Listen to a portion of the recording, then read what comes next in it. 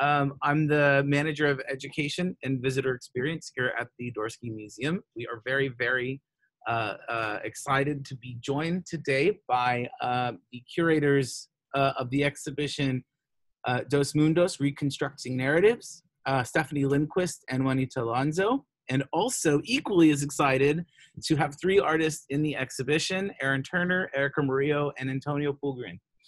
Um, I am not going to talk much because you're here really for uh, Stephanie, Juanita, Aaron, Erika, and Antonio.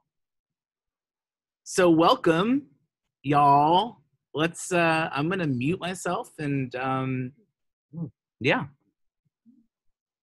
Welcome. Um, Juanita, should we share the slides? Begin with that. So mute I'm, myself and I'm going to share my screen. And I'm going to do this. And I'm going to then do the, ah, you can see all my tabs. My apologies. Let me go like this. Oh my God. Oops, did I forget how to do this? Okay. I think if you go to um, view. Yeah, maybe view. Okay, view. And then I go on the first one? Full screen. You can hit that. I would go There's back. a play button in the top right or left hand corner. Okay. Oh, I appreciate that. Wait, hold on one second. Oh no, I did this wrong. Maybe refresh the page, Juanita. Refresh the page, okay. Or not. Oh no, what happened to And then it's turning, and then it has a play button, you told me, right? Okay, yeah. let me stop sharing.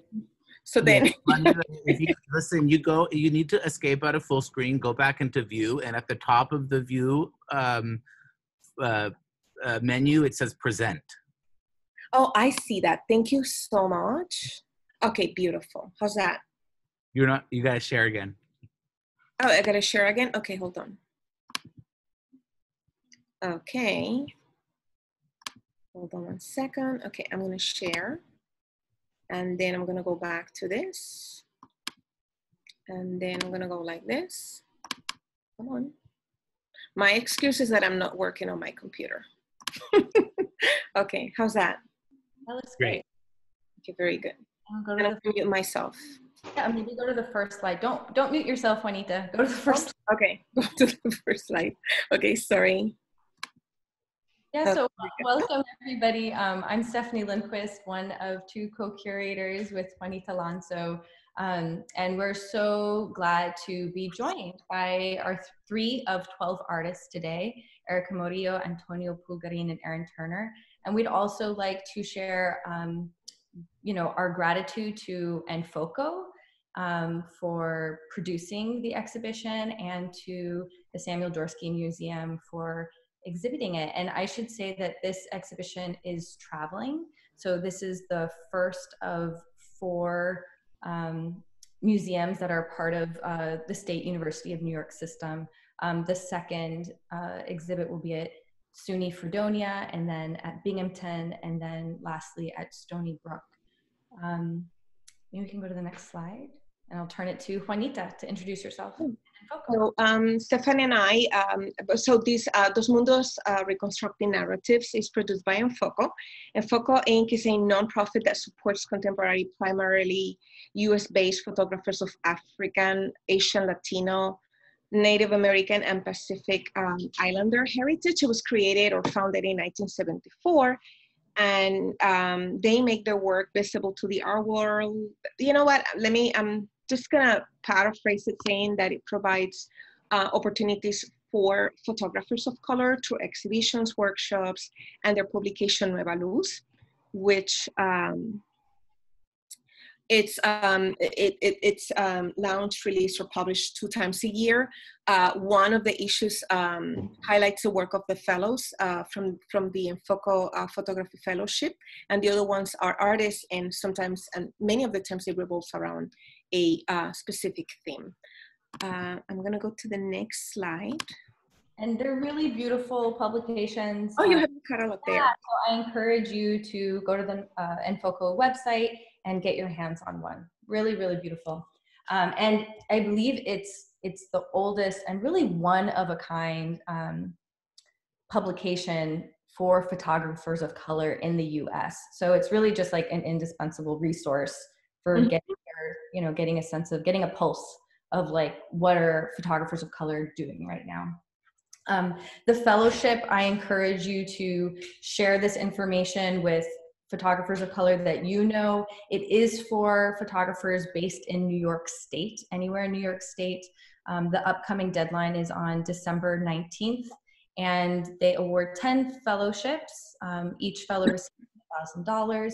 And I think, as Juanita said, the fellows receive, um, they're a part of an exhibition and they get to be in a Nueva Luz publication.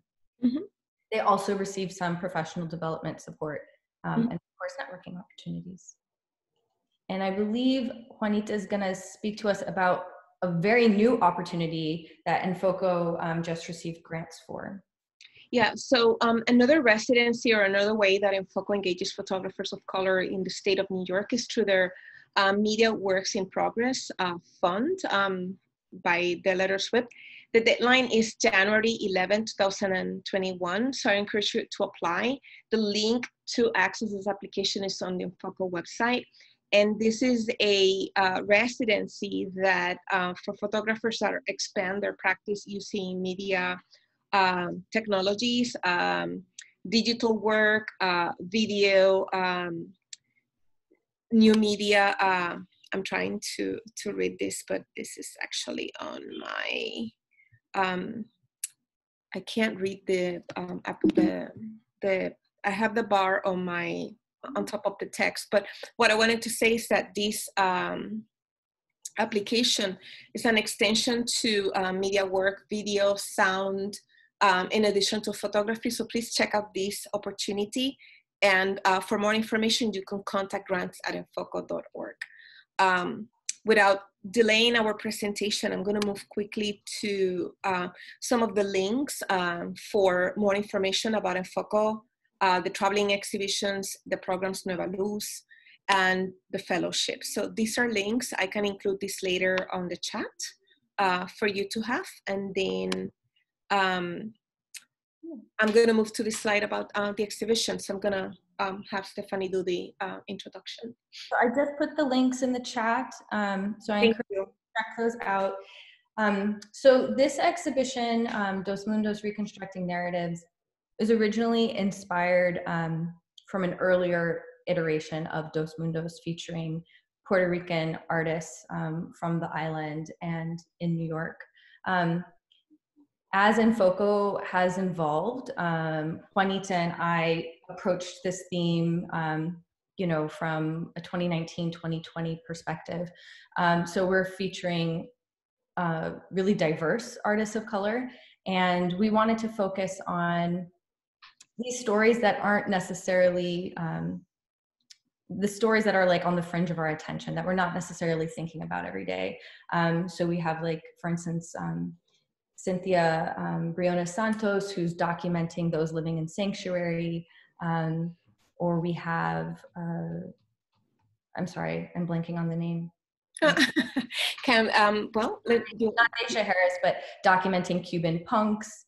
Or we have Anthony Hamboussi, who's really thinking about um, the structure of racism and the underserved and over policed community in Coney Island um, or we have Laylah Barrayn Amatullah, who's really documenting the diversity within the Black Muslim women community from um, the continent of Africa through the US, um, to give you a sense of the variety of, of artists in the show.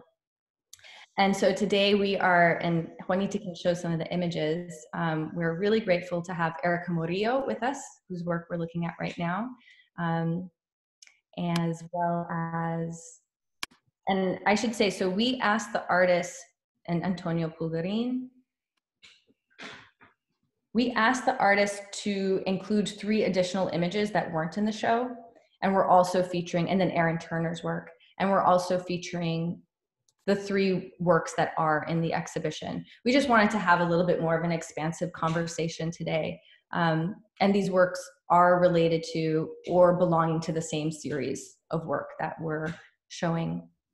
Uh, so to kind of just jump into the questions, um, part of the reason why we wanted to speak to you, Aaron, Erika, and Antonio all together is that we did see that you have um, some things in common. Each of you are, I would say, complicating these ideas of like there being any like monolithic identity. So whether that's with your work, Aaron, you're challenging notions of like a monolithic blackness, or with your work, Antonio, um, thinking about masculinity, or with your work, Erika, and complicating what um, womanhood or motherhood looks like.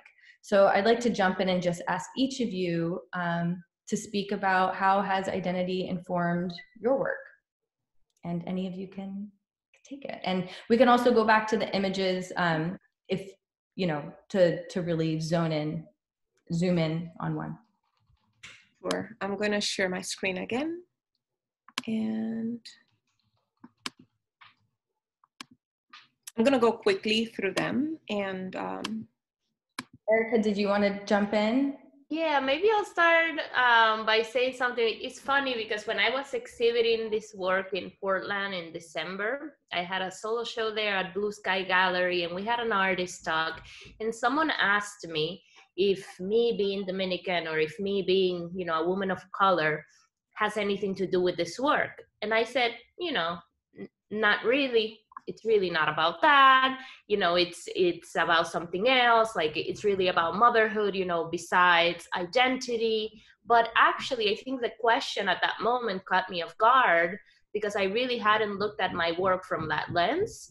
And just as i have been you know working with um, a photo book that i did of, of this work and kind of like understanding how very little uh, female Caribbean voices are in photo books at the moment or in publishing photography work in printed matter, I started to understand that the work, although the concept itself um, maybe does not have to do with me being a woman of color, putting the work out there which is also part of you know being an artist and being in conversation has everything to do with that. And it's a, a, very crucial part i think of my practice at the moment. You know i'm very invested in um, a, taking an intent look at my experiences. And i think in the caribbean we have a problematic uh, relationship with examining our experience, uh, especially in the context of,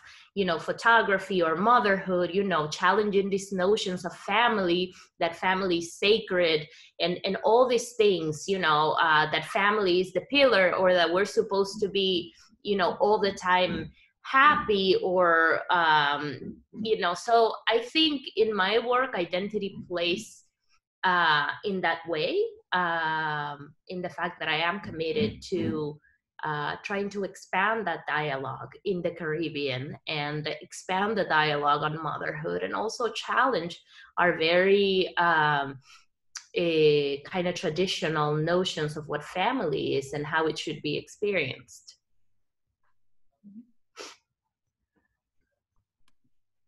Antonio, I'm curious how um, how does identity inform your work? I'm thinking maybe of moving from the Caribbean to South America and your experience and thinking about Latinx narratives in the US. Oh, you have to unmute, Antonio. Sorry about that. So you would think after like a good year of Zoom, I'd, I'd, I'd be an expert at this at this point.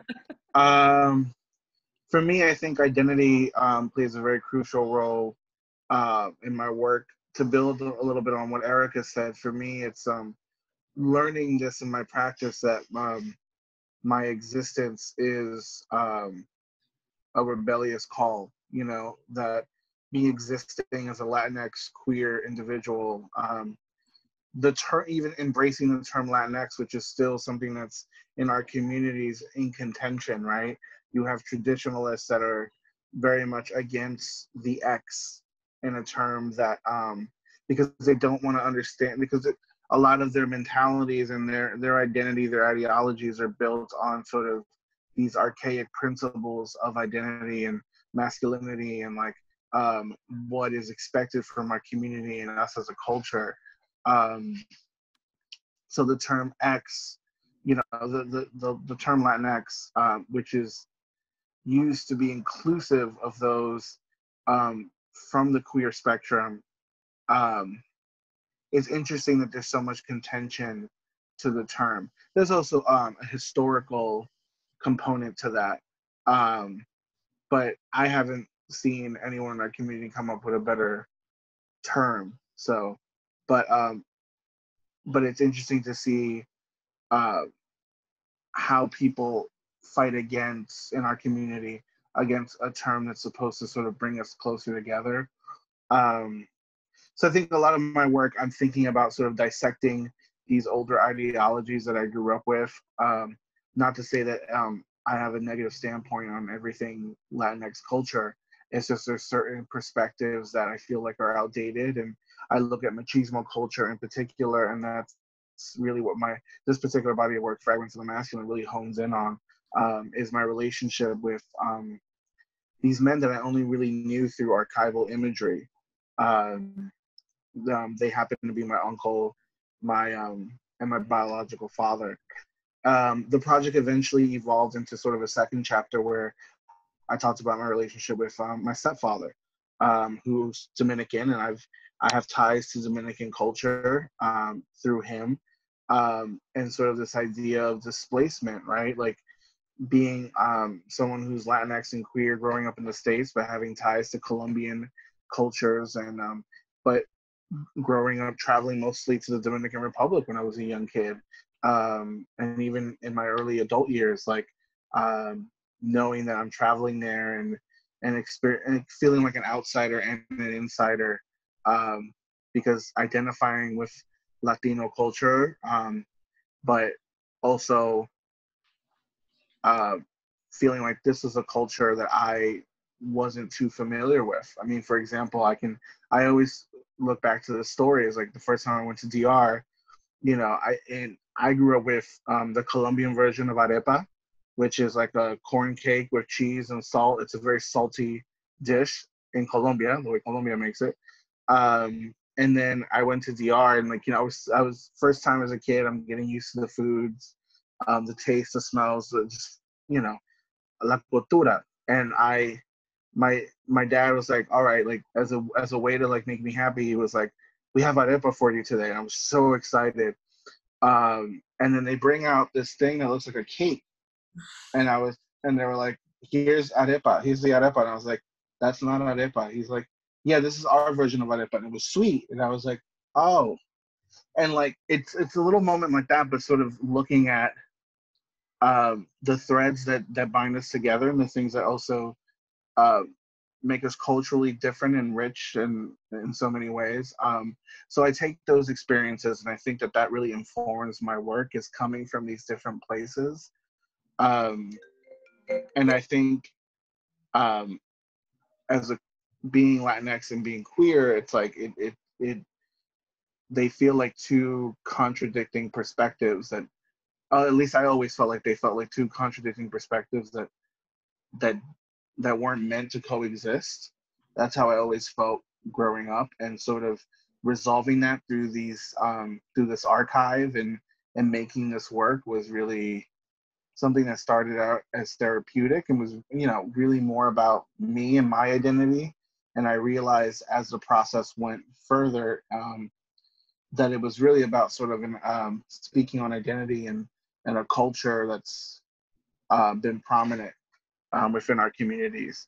And and it, you know and there's people of color that resonate with this work. I've gotten messages um, from people all over the world that um, that resonate with the theme of this work um, people of color from all over the world. So that's been really great. Because um, i'm not going to sit here and say that i made the work to to change the world. You know i'm not going to spin you some narrative like that um, it was very much in, it came from a narcissistic place of wanting to to to you know deal with something in a therapeutic means and for me art creating art is therapeutic and um but at the end of the process i saw that it it could serve a greater good you know, in terms of speaking on things. Like if I could share my story, that it could resonate with others. So I'm happy that it has.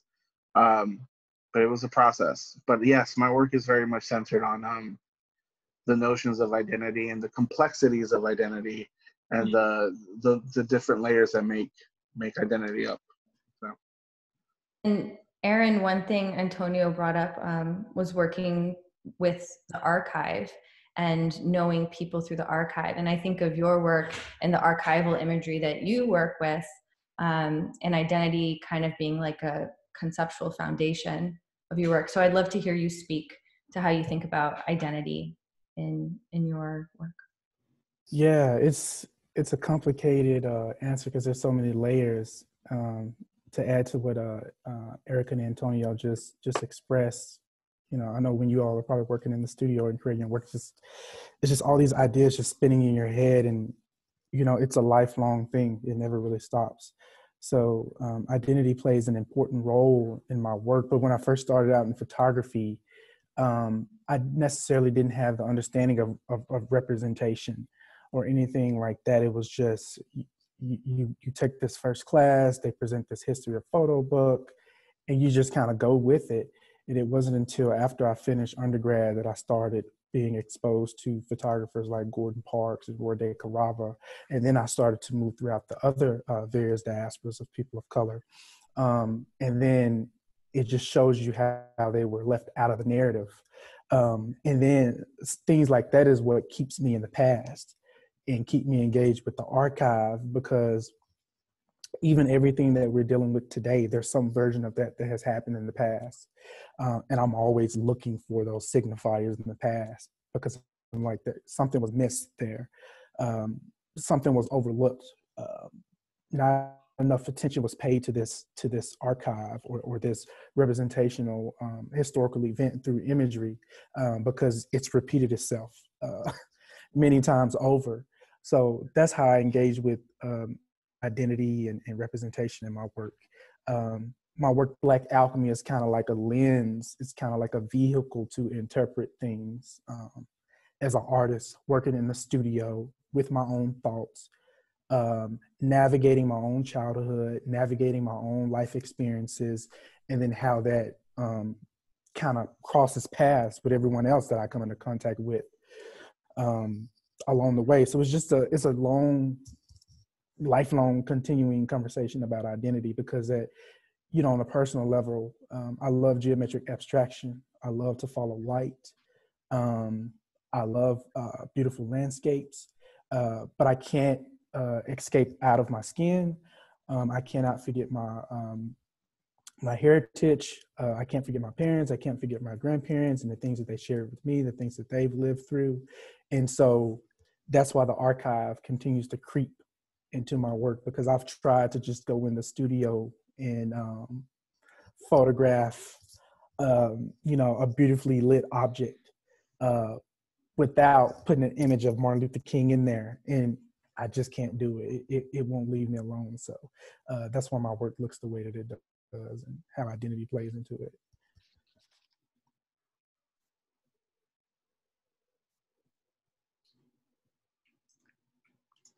Juanita, do you want to jump in? Yeah, um, so I'm going to go back to um, maybe I'm just going to start with Erika with this question um, about symbolism in your work. So, what are some of the um, symbols um, you use in your work, Erika? Um, and I can be more specific, but I'm just going to let you answer that first part and I may do some follow up questions. Okay, first of all, I want to apologize because you will hear like bang, really loud banging because they're doing construction. So you might hear some of that in a little bit.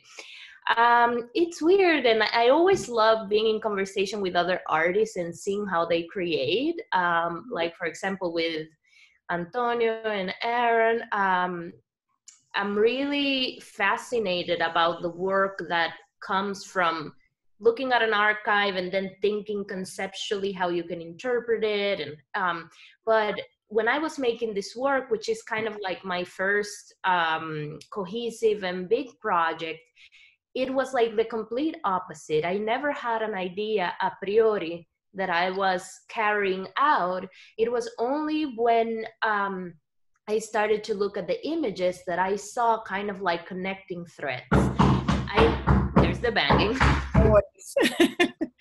Sorry, it's bad. Um, you know, I I kind of like never set out to make a specific image. I just see what I find when I am uh, making the work. So, in documenting my son, this work was a lot about really being present in the moment as a single mom. You know, I was conflicted with becoming a single mother so young. So, I think photography allowed me to be present in that experience and investigate it. And then after I had amassed years of photographs, I started to see connecting threads. One of them was water and was how water in the work came to serve as this kind of either reflecting agent or veil. So, for example, here, how in this image, you know, he's like in another kind of world. For me, like um, a lot of this has to do with uh, entering a dreamscape. Um, so, you know, in my work, water serves as this kind of like portal to enter a dreamscape or in the other image that is there the past dissolves where there's like a curtain of water in another reality that my son is about to enter.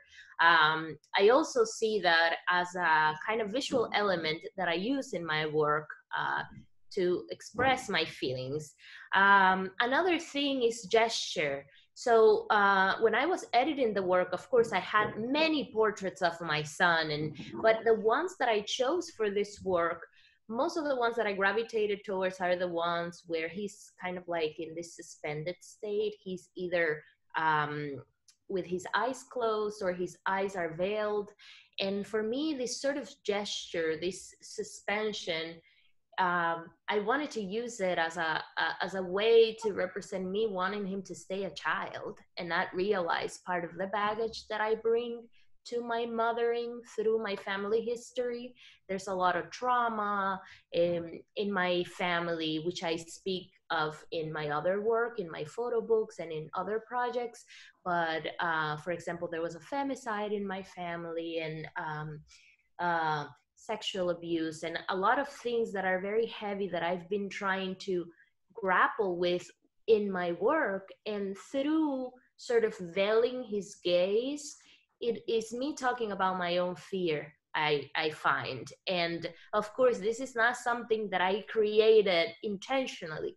It is only after I look at the work after that I realize what my intention is. So um, that's something very integral to my practice as well. Um, kind of like photography is a way to understand what I'm feeling before I'm conscious of it. I understand that after when I examine my work and my images. Um, and also shadows. These particular pictures don't have like such a high usage of shadows as the other ones in the work. Um, but there are other photos of this body of work where shadows are very present. And for me, I wanted shadows to come, well, I guess in this one, yes, but mm-hmm. I, I, wanted to come and uh, talk about polarities and how as human beings, I, I don't, um, I don't believe in the notion of a human being being completely uh, wholesome. I think we're all dealing with either a darkness or a history or something that is at odds, at, at a duality. And to me, motherhood itself was that kind of duality of like and i had issues with that because i wanted to be like happy mom all the time and oh motherhood's the greatest thing that happened to me. But oftentimes it was very tumultuous and you know so with the shadows in the work i'm also trying to express that other part that is not necessarily that um that easy. So yeah. Thank you, Erika. Um, I'm, I'm, making a note, um, as you mentioned, uh, the shadows, the reflection of the water. Um, I, am you know, just maybe to kind of um, uh, uh, to, as the connecting thread for these works. Um, umbral, um, can you talk a little bit about the symbolism on that word? Yeah, um, umbral. It, it came from the what I was speaking about before. This idea of like suspension, but you know, mm-hmm. umbral, which translates to threshold, mm-hmm. is in between space. And for me, that in between space in the work is him transitioning from childhood to adolescence and what that represents in terms of his innocence, what he knows about me, about his own history. So there's uh, that in that transition, you know, kind of like moving from one age to another. But there's also umbral between, you know, reality as we know it and a dreamscape. Mm-hmm. So to me, in my work, I like to make images that, you know, feel could be part of dreams, that could be mm-hmm. like, uh, like what you see when you're in a in the haze of a dream. So that umbral represents that for me.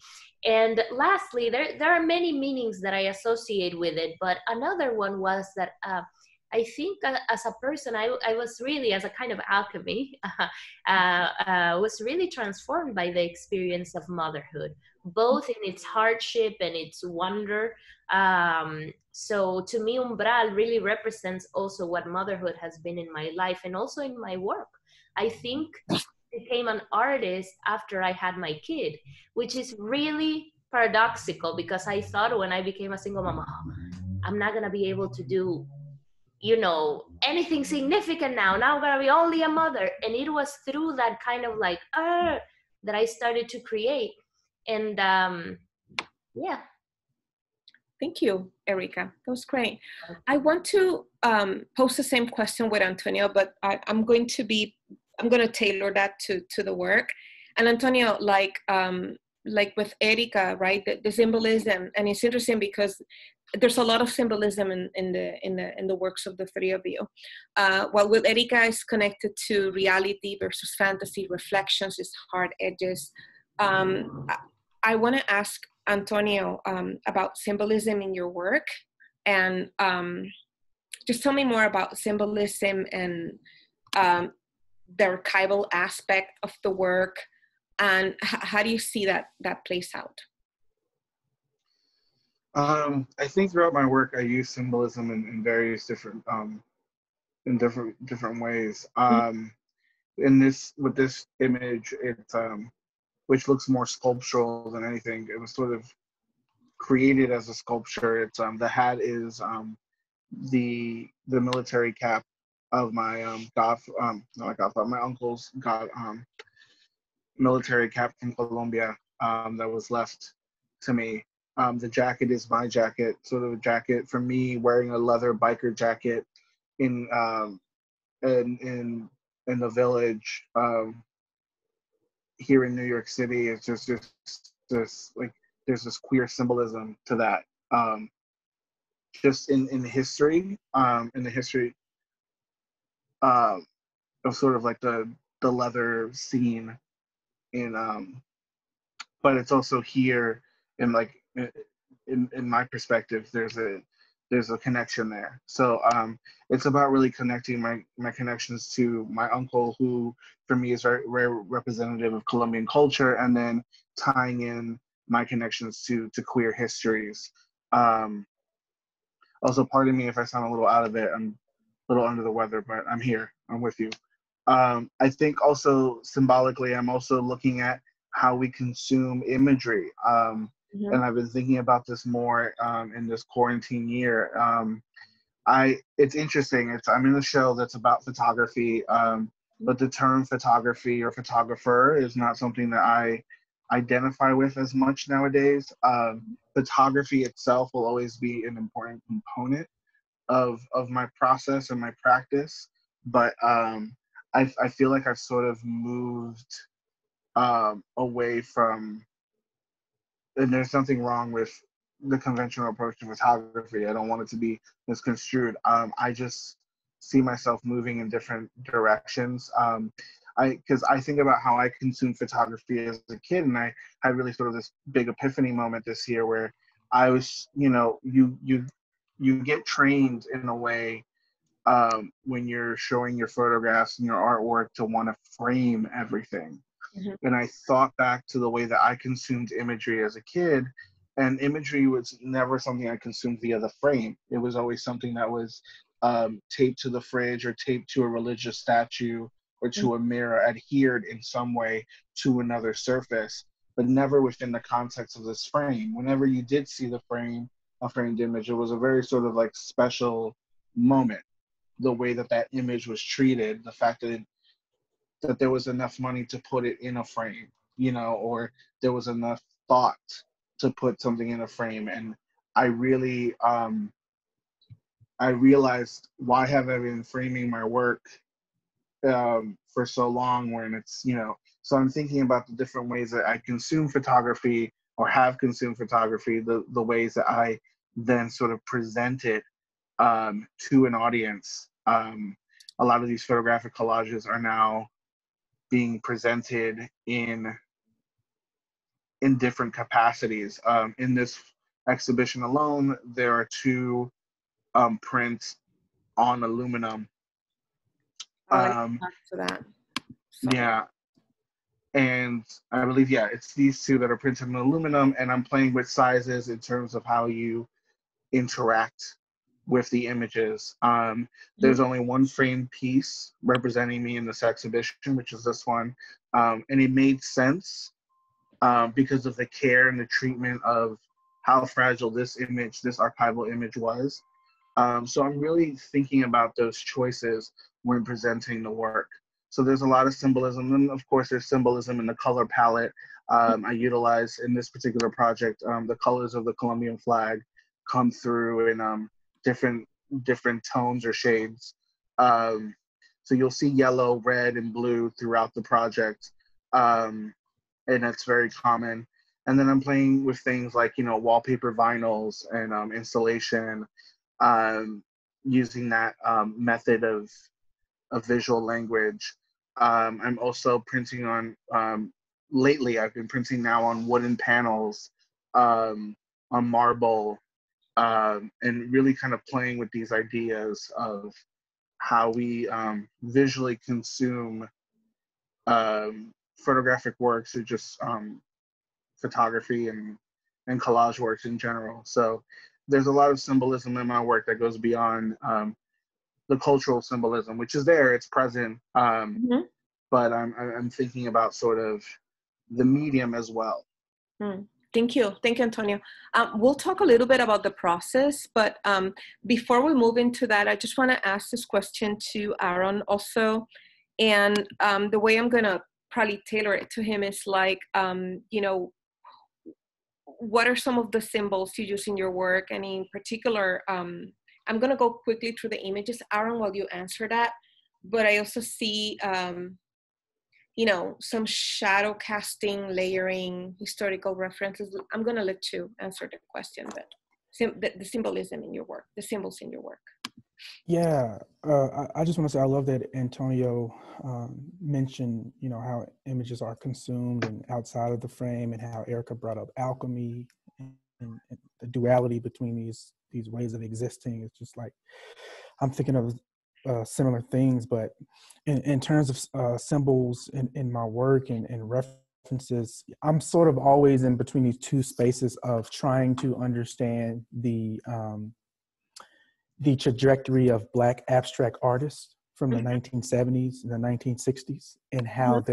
The work that they were making were ex- excluded from the narrative mm-hmm. um, and, and kind of seen as second rate.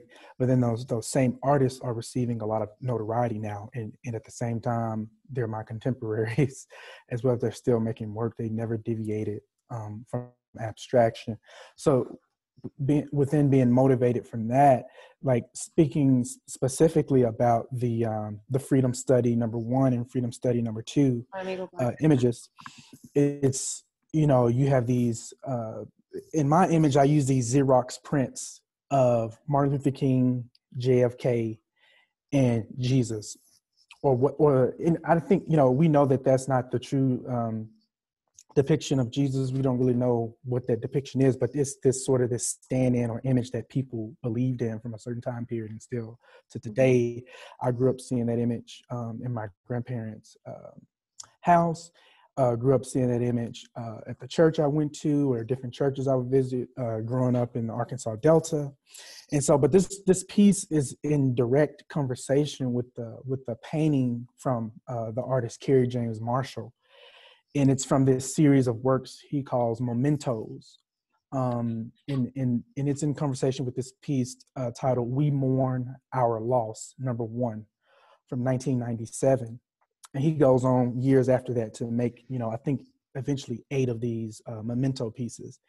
And sort of what what is dealing with is like um, he was looking at commemorative banners that were present in african american households like in the late 1960s and 1970s following these assassinations of people like martin luther king and jfk i mean the images are on plates um, posters handouts. I remember seeing mlk church fans uh, growing up, um, bookmarkings for Bibles and all that kind of stuff with uh, historical figures on them. And so it's it's that sort of comes out of like the, three uh, individuals pictured in these Xerox prints. You know, they all had this belief of, of serving the disenfranchised, and it and it fuels their status because they all uh, are martyrs uh, to their specific cause.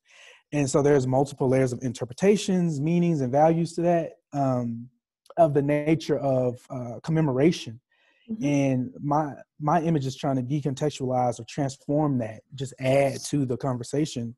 Mm-hmm. And so it's like, and then also going back to abstraction and then different lines and stuff that you see, that's kind of like the visual pleasure of the geometric forms. And, you know, one image is more decorative than the other. So so like Antonio was talking about the frames, like, you know, I would grow up seeing these images in frames or adorned in, in a poster, you know, there may be glitter or like gold leaf and things like that, where I'm just taking these images and uh, pinning them to a wall on Xerox paper um, from a copier. Um, but the way that I decorate the frame is is is through geometric abstraction or or, some form of abstraction of light. And so um, to sort of round out the symbology in that, it, it, it just takes another look. It, it's not simply, you know, looking at these horrific events themselves or the loss of life, you know, political implications or historical impacts, uh, the ideal of a martyr or being a, or being martyred. Um, but it's it's it's an act of remembering. It's it's an act of continuing um, remembering. Um, how do we remember things uh, from childhood? How do we commemorate? Um, and and also uh, the figures from Freedom Study One and Two. There's different combinations and versions of that depending on the culture you grow up in or the culture you're from. It's going to look different in an Irish household. It's going to look different in a Dominican household. It's going to look different in a Native American household. So um, it's, it's kind of like a puzzle where you can interchange and pull out different pieces. Kerry James Marshall piece uh, doesn't include Jesus. His includes um, uh, Martin Luther King, Robert F. Kennedy, and John F. Kennedy. Mm. Um, so that's his version. Uh, I didn't put uh, Robert F. Kennedy in my work because I just didn't grow up hearing about Robert F. Kennedy. Uh, mine were more so the figures that are present um, in my work. So that's a little bit of, of uh, you know how I deal with symbology um, in my work.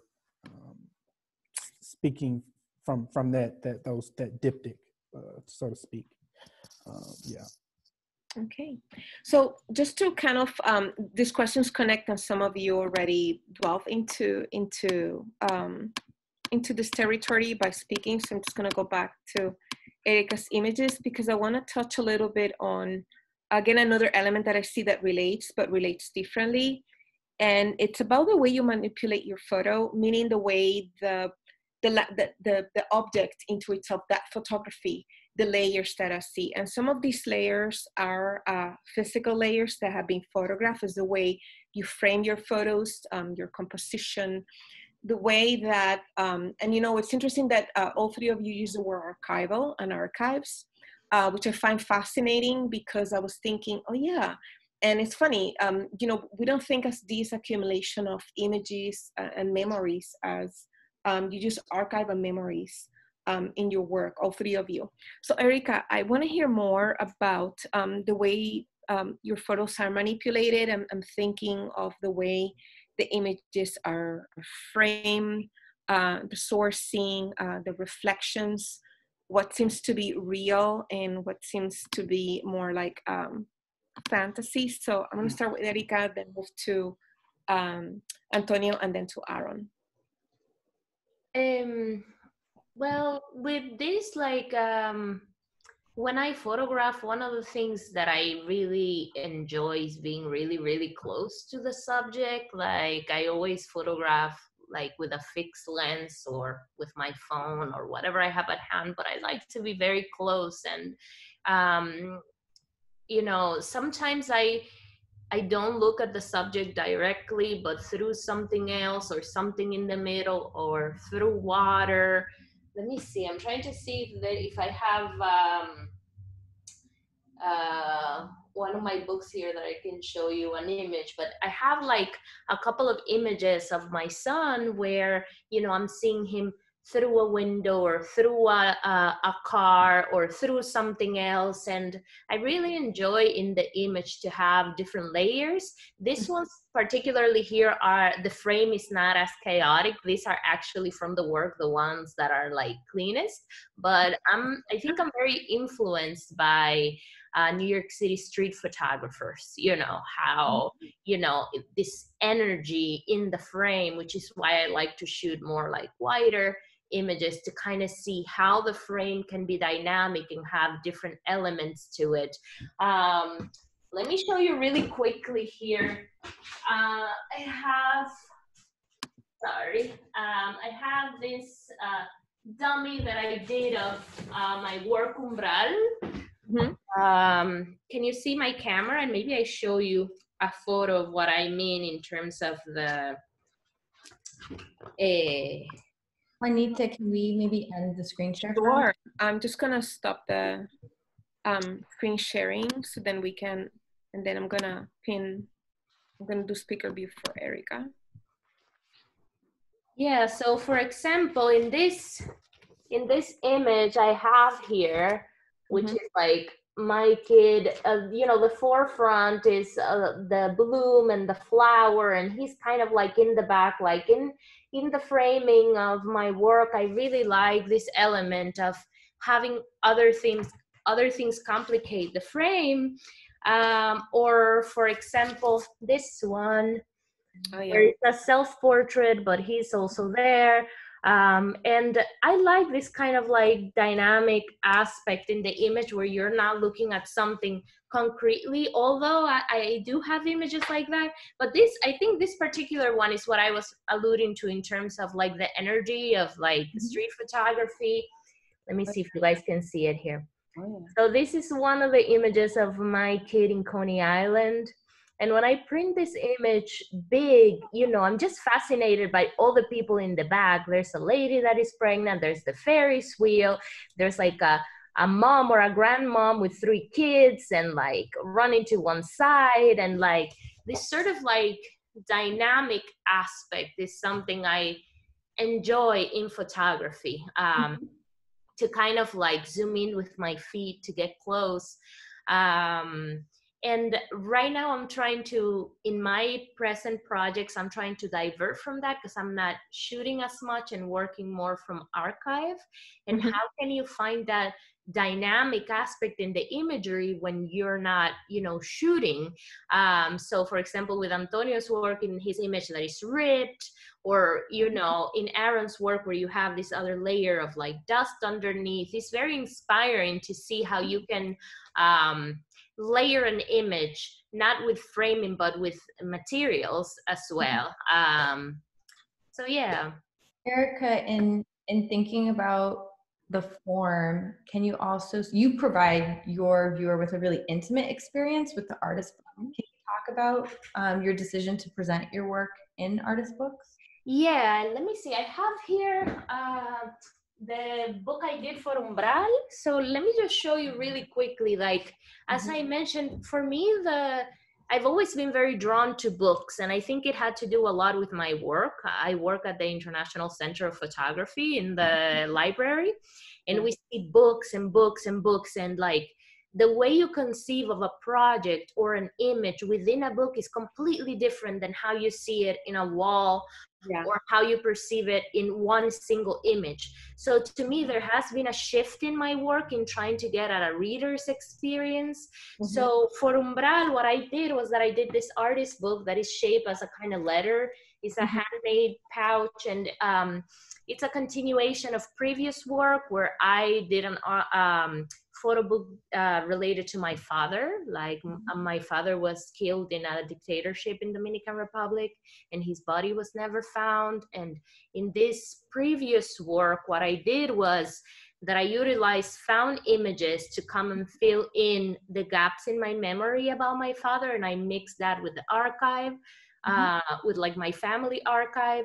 So that was like a way of approaching uh, a history from books that really touched me.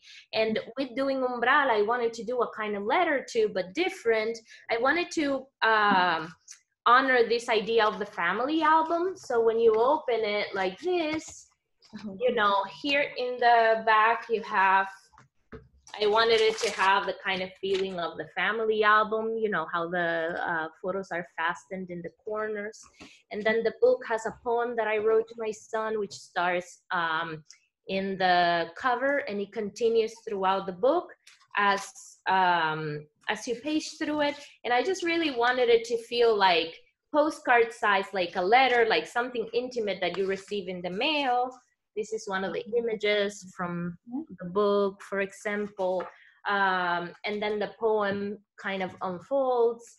Um, oh wow! Images like this, and then um, there are like I I really wanted to the images in the book to be in conversation. So, for example, this is one of the spreads I like the most, which in, on one side is the image we've seen of my son and a kind of self-portrait with him, but I've always found this image kind of a bit morbid.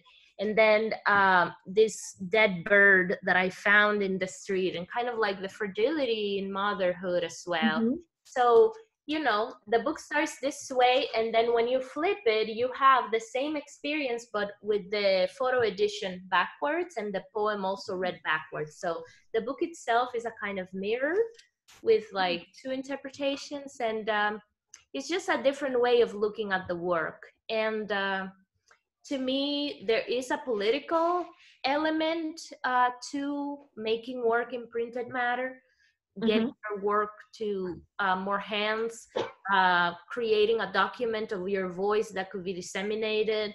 And there aren't a lot of women doing photo books or you know uh, photography focused on family in the Caribbean. And for me, I just want to uh, expand that, and um, that's my interest in making books. Uh, so yeah. Thank you. Thank you so much, Erika.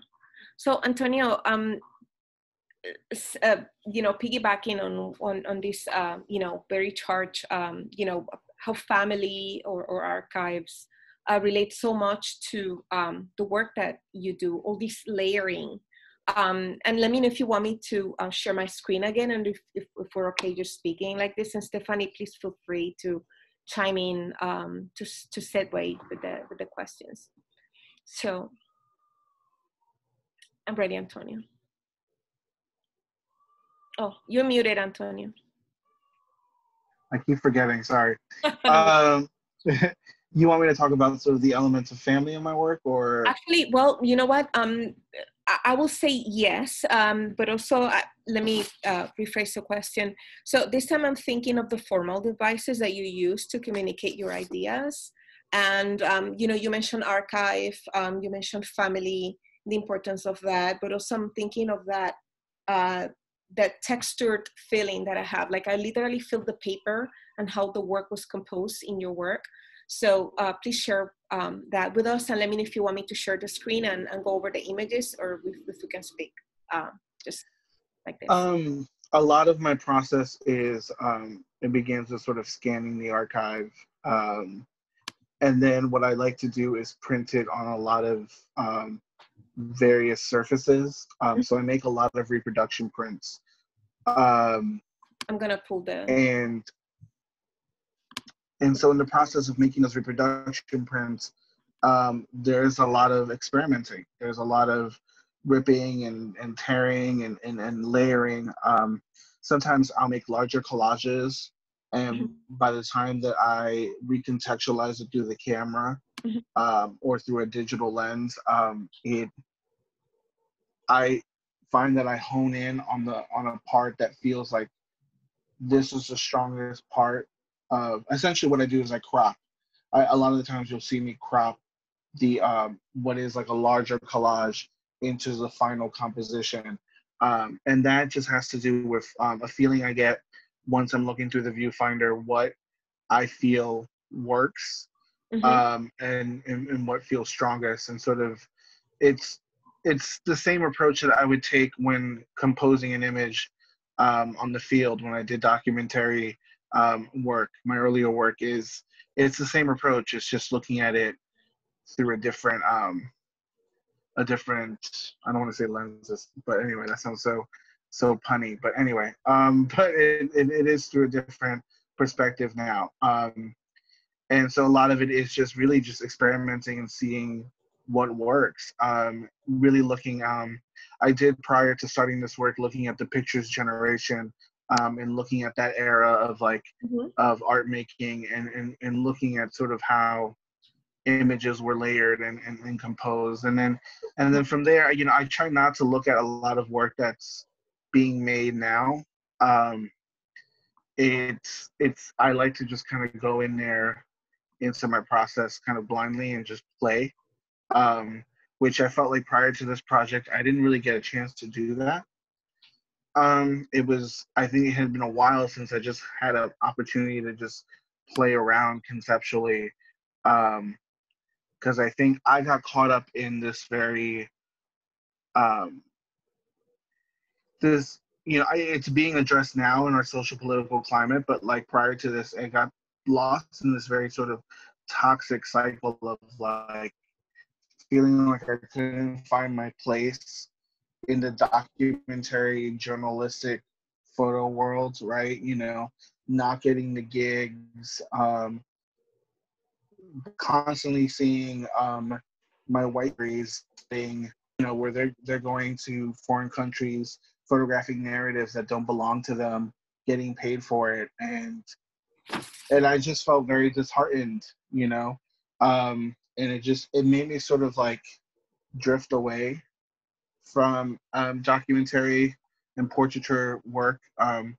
and I had this archive sitting there, and it I had a need to do something with it for a long time and i sort of just took the opportunity to to do so and to kind of reinvent and re-examine what my practice would look like so a lot of these collages are um, an experiment in in a new process um, for me new process for me um, and i'm working on a new body of work now that i'm like incredibly excited by and, and there's um there's been an evolution in how I'm approaching um, these collages and, and, and, the patterns and the textiles that I use. And um, mm-hmm.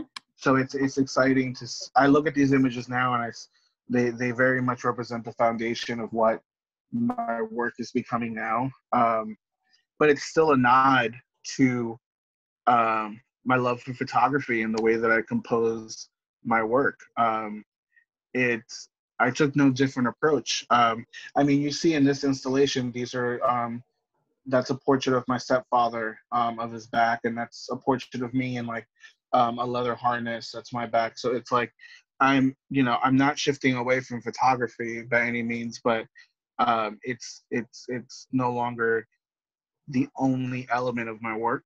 Um, so yeah, so I think that, it, but it all started with these photographic collages. Um, and just playing around. Um, the patterns came into play a little later where I, I, I would randomly, I mean, I'm just like a lover of like just floral patterns and, and things of that nature and just, just textiles. And I would just buy like it started with me buying like all these random wrapping papers that I knew I would never use. I'm just like so random. I go to Paper Source in the city or stuff like that, and like, and then one one of the this was actually wrapping paper, and it mm-hmm. reminded me of the emerald, the emeralds in in Colombia, the yellow, of course, um, in the flag, and I just and it also reminded me of the tapestries that my mom would use on the tables um, at home when I was growing up, like those little um, those table mats that she would she would have on this uh, you know every, you know on the living room um, and i just was really sort of like it, it took me back to to memories of home mm-hmm. um, and i so I, I started i realized oh like this this utilizing this pattern makes sense. And and i just started collecting more patterns. And now i now my apartment is just filled with an assortment of patterns and and and and fox leather prints. And oh my god i it's a it's it's, it's a whole mess. I have to figure out a way to to organize it. But um it just was an experiment to see if that pattern and would fit with this narrative and and they just slowly but surely started to come together so Antonio, um, maybe I, I neglected to um, to mention this, but the um, the series of works that we're looking at are called uh, fragments of uh, masculinity, right? Um, fragments of the masculine, yeah. Fr- fragments of the masculine. Thank you so much. And somehow that title relates to that fragmented and yet kind of way where things are layered and collaged together digitally. So was that something that was intentional that the title came, you know, was that first? Or that came after you look at the work overall and then you saw that it was all these uh, you know layering that it was uh, you know met- metaphorical and literal in, in the work that you're doing um that came after looking at the works like i to be honest when i was making this work it was like piece by piece i didn't really know what everything was going to look like because this was mm-hmm. all new territory for me mm-hmm. um it wasn't until i started sort of making smaller um work prints and looking at everything as a whole that i was like wow and i and i i entertained a few titles, but Fragments of the Masculine kind of like felt there was something poetic about it. There was something um, that, yes, of course, spoke to the spoke to the physical nature of the works, but um, really talked about um, dissecting these different elements that make up machismo culture and masculinity, um, and and really sort of and then there was in some of the other works, there's a use of like um, dialect um, terminology in Spanish in the in the Spanish language that is incorporated into the works, and I really wanted to, you know, incorporate the aspect that I'm bilingual, that I come from a bilingual family, bilingual culture, because um, I think that that's something that very much makes up my identity, and it's an important aspect of my identity, and like mm-hmm. I wanted to incorporate that because I, I would shy away from um, from Spanish titles um, earlier in my career, and I think now I've I've learned to embrace it and like you know I'm not I'm not going to translate something for you if I don't feel like it. Um, it's you know it's look it up. Um, that may be harsh, but I am living my my truth as a, as a Latinx individual, and I um but that that took a lot of sort of resolving and i think that through this work i was able to sort of really connect with my inner cultura my my roots my connections to my roots because mm-hmm. that was always sort of something that was very complex for me um, i felt as a young age i didn't belong because i had these other feelings of like um, what does it mean to be a gay man in this in this culture and like does this can can i even belong so it's taken me a while to embrace just even saying I am a Latinx queer individual. Um, so that has been a process, and I think through this work, I was able to really sort of resolve a lot of that. It's it was very therapeutic. I'll say that. Thanks, Antonio. I'm going to move with this question and tailor it to um, Aaron. And Aaron, if you can speak about the formal devices that you use to communicate your ideas in your work, um, and take it away. Yeah, I use a lot of different formal devices in my work. I think uh, one of the most important is the the four x five view camera. um, Oh. because I wouldn't have been able to imagine the spaces that I've created through Black Alchemy without it. Um, and ever since I was introduced to the four x five camera, like you know, as an undergraduate, um, you know, maybe my second or third year through my degree, um, I haven't put it down. I, I have a genuine love for that camera. Um, I love the process of setting up the camera. I love looking through the camera. I love the process of developing film afterwards. Um, I love the quality of film. I love to scan the film, but I also like to take it in the dark room and enlarge it um, Mhm. onto photo paper um, and explore different textures through that. But I also like to explore materials, Mhm. um, kind of like how Antonio was talking about uh, going around collecting all these different papers and patterns and textiles. Um, you know, in my studio now, there's like, like uh, black gesso everywhere, linen tape, uh, black suede, black backdrops, plain black paper. There was a core board, masonite, uh, wood, um, different types of paint, acrylic paint, oil stick, um, and I'm and it's all in this monochrome um, color palette of of like black and white, and then you know when you're exposing um, when I'm exposing the film, you know you can get the silvers and the grays, um, and when I mix the paints or mix the patterns, or the light interacts with multiple colors in the same space, you know you start to get these different shades and hues of things. So I'm always trying to work on the sort of the opposite ends of the spectrums. Uh, what like this photograph, that photograph of the lynching, um, photo, making that photograph, um, you know, making this photograph in a pitch black room Mhm. um, with just that light box, you know, and metering it.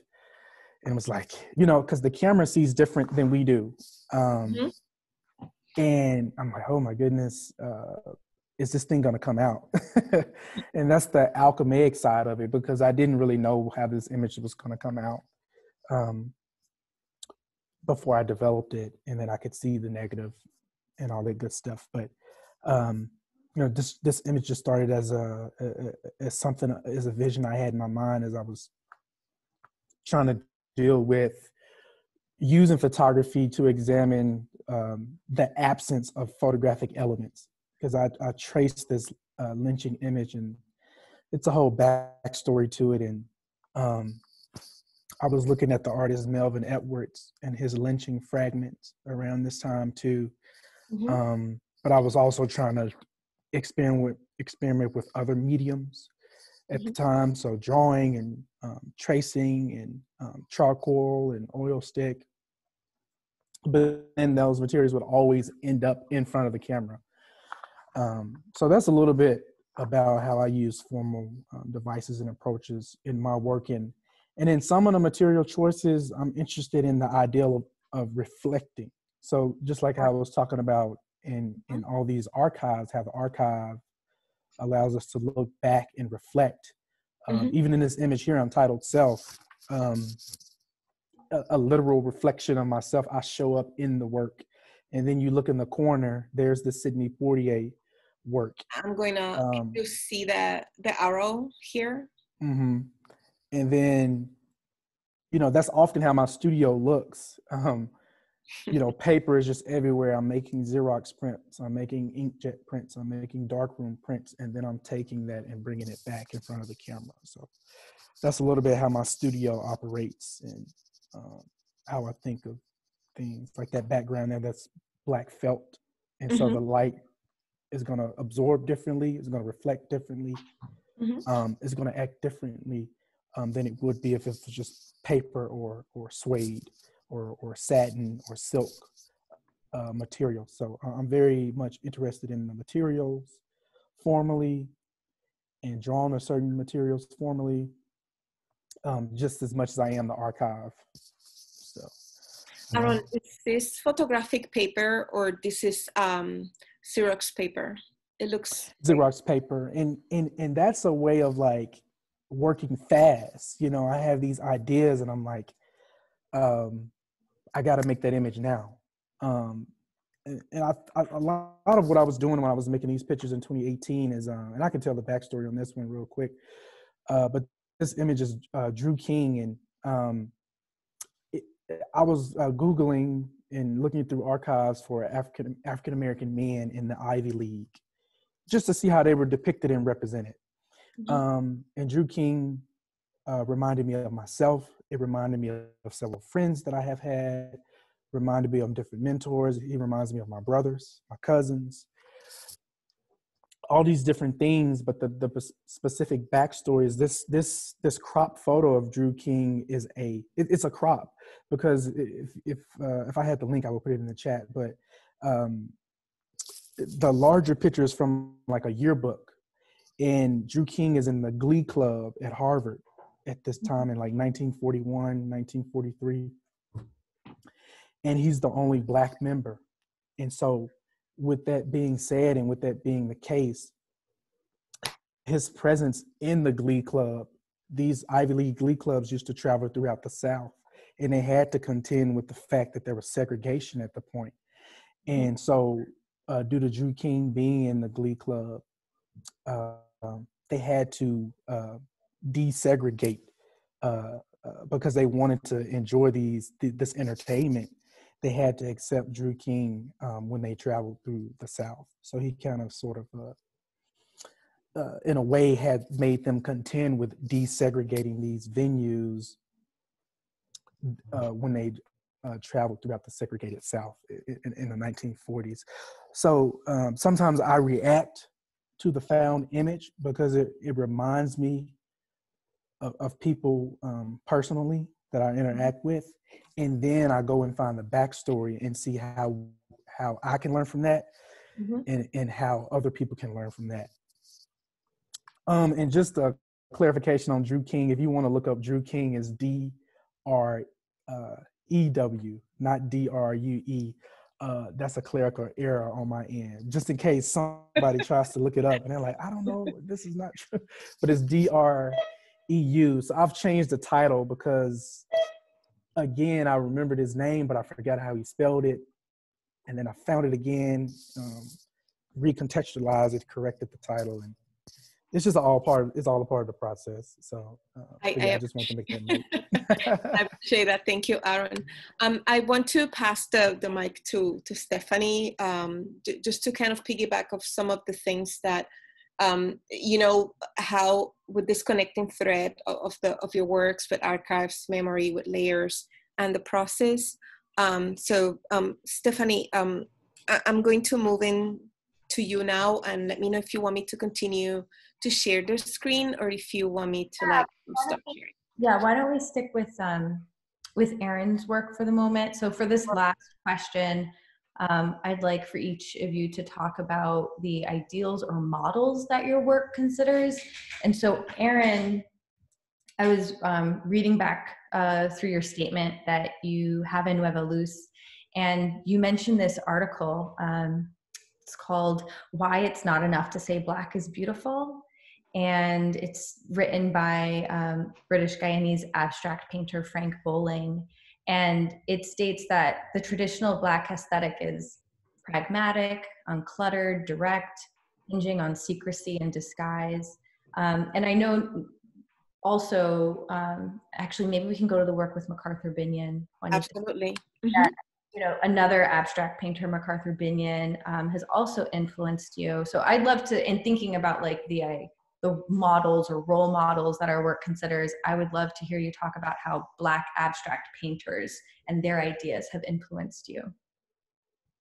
Yes, and I'm gonna try to keep it brief because I have a lot to say about this topic. I'm actually gonna post a link in the chat, um, and it's an article, um, a recent article within the last two days about Frank Bowling.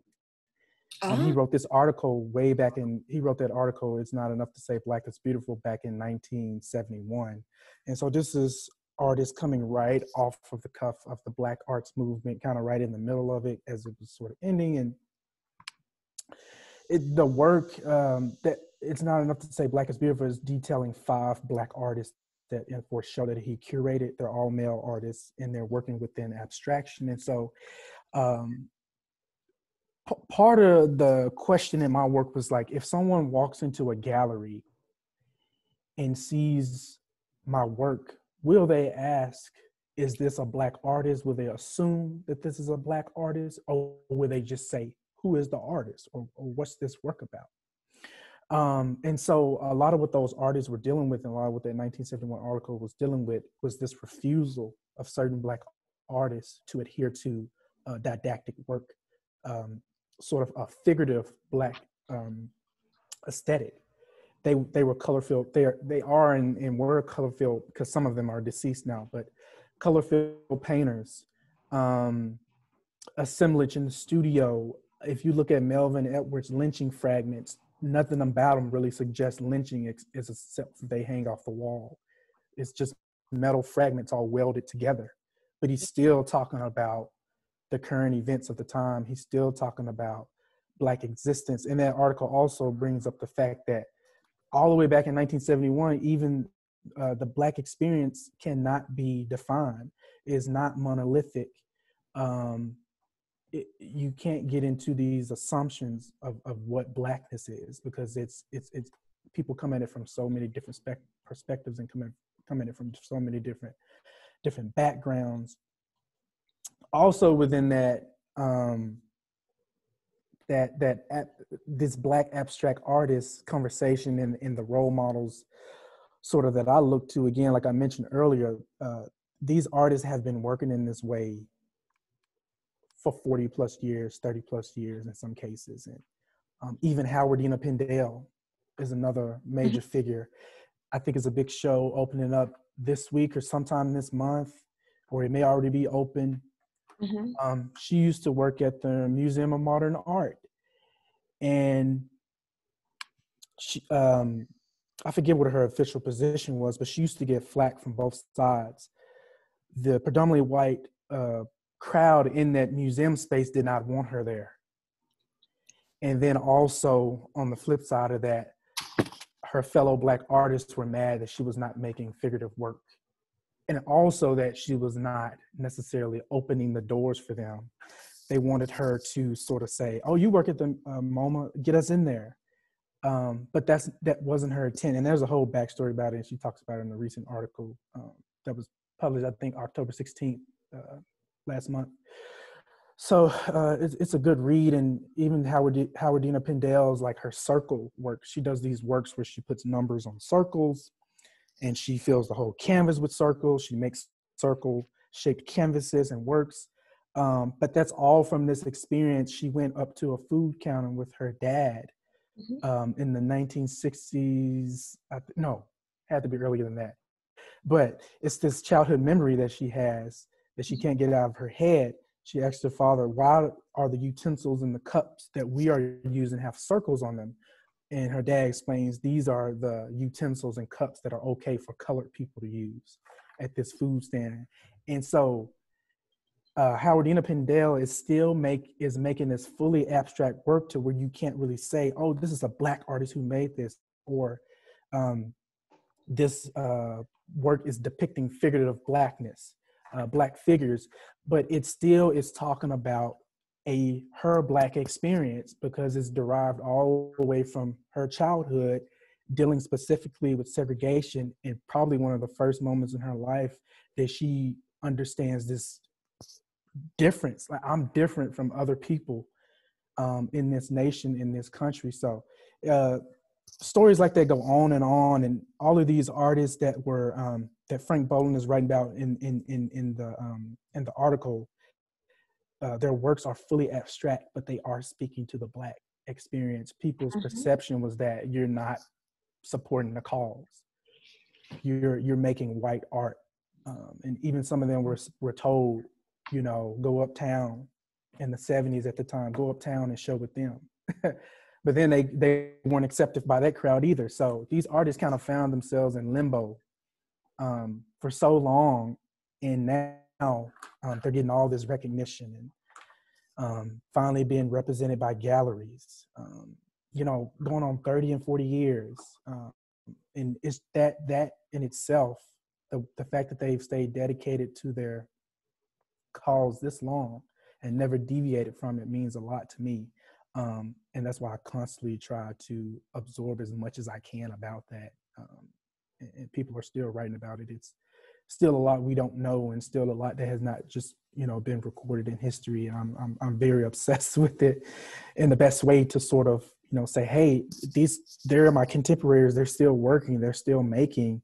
Um, I'm uh, how do I contend with this with, with, with this this topic as well because um, that sentiment still sort of exists um, in in various different ways in present day. So before I keep rambling, I'm gonna stop. No, and no, Aaron, I want to just follow up. How did you um, decide to pay homage to MacArthur Binion in this work, which I believe is overlaying like multiple shots um, of Malcolm X and Martin Luther King, including, I believe, a mugshot.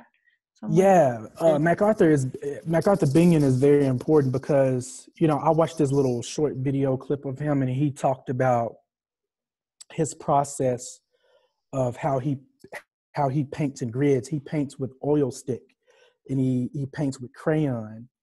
Um, there's this one painting he takes his birth certificate from the state of Mississippi and he creates these um, redacted grids over it and then you zoom out and it's this whole geometric shape. But if you get close to it and look at the details, you can see the redacted information in his details from his uh, birth certificate in, in the state of Mississippi. He's from the Mississippi Delta. He talks about this idea of, of a labor in painting, making a painting that maybe only a black painter could make through those specific uh, experiences that he he he he grew up in and experienced um, in his upbringing in the Mississippi Delta. I'm from the Arkansas Delta, um, and so I immediately felt the connection before I even read about that part. I saw his work, didn't know who he was. I just ref- re- responded to the abstraction in the work.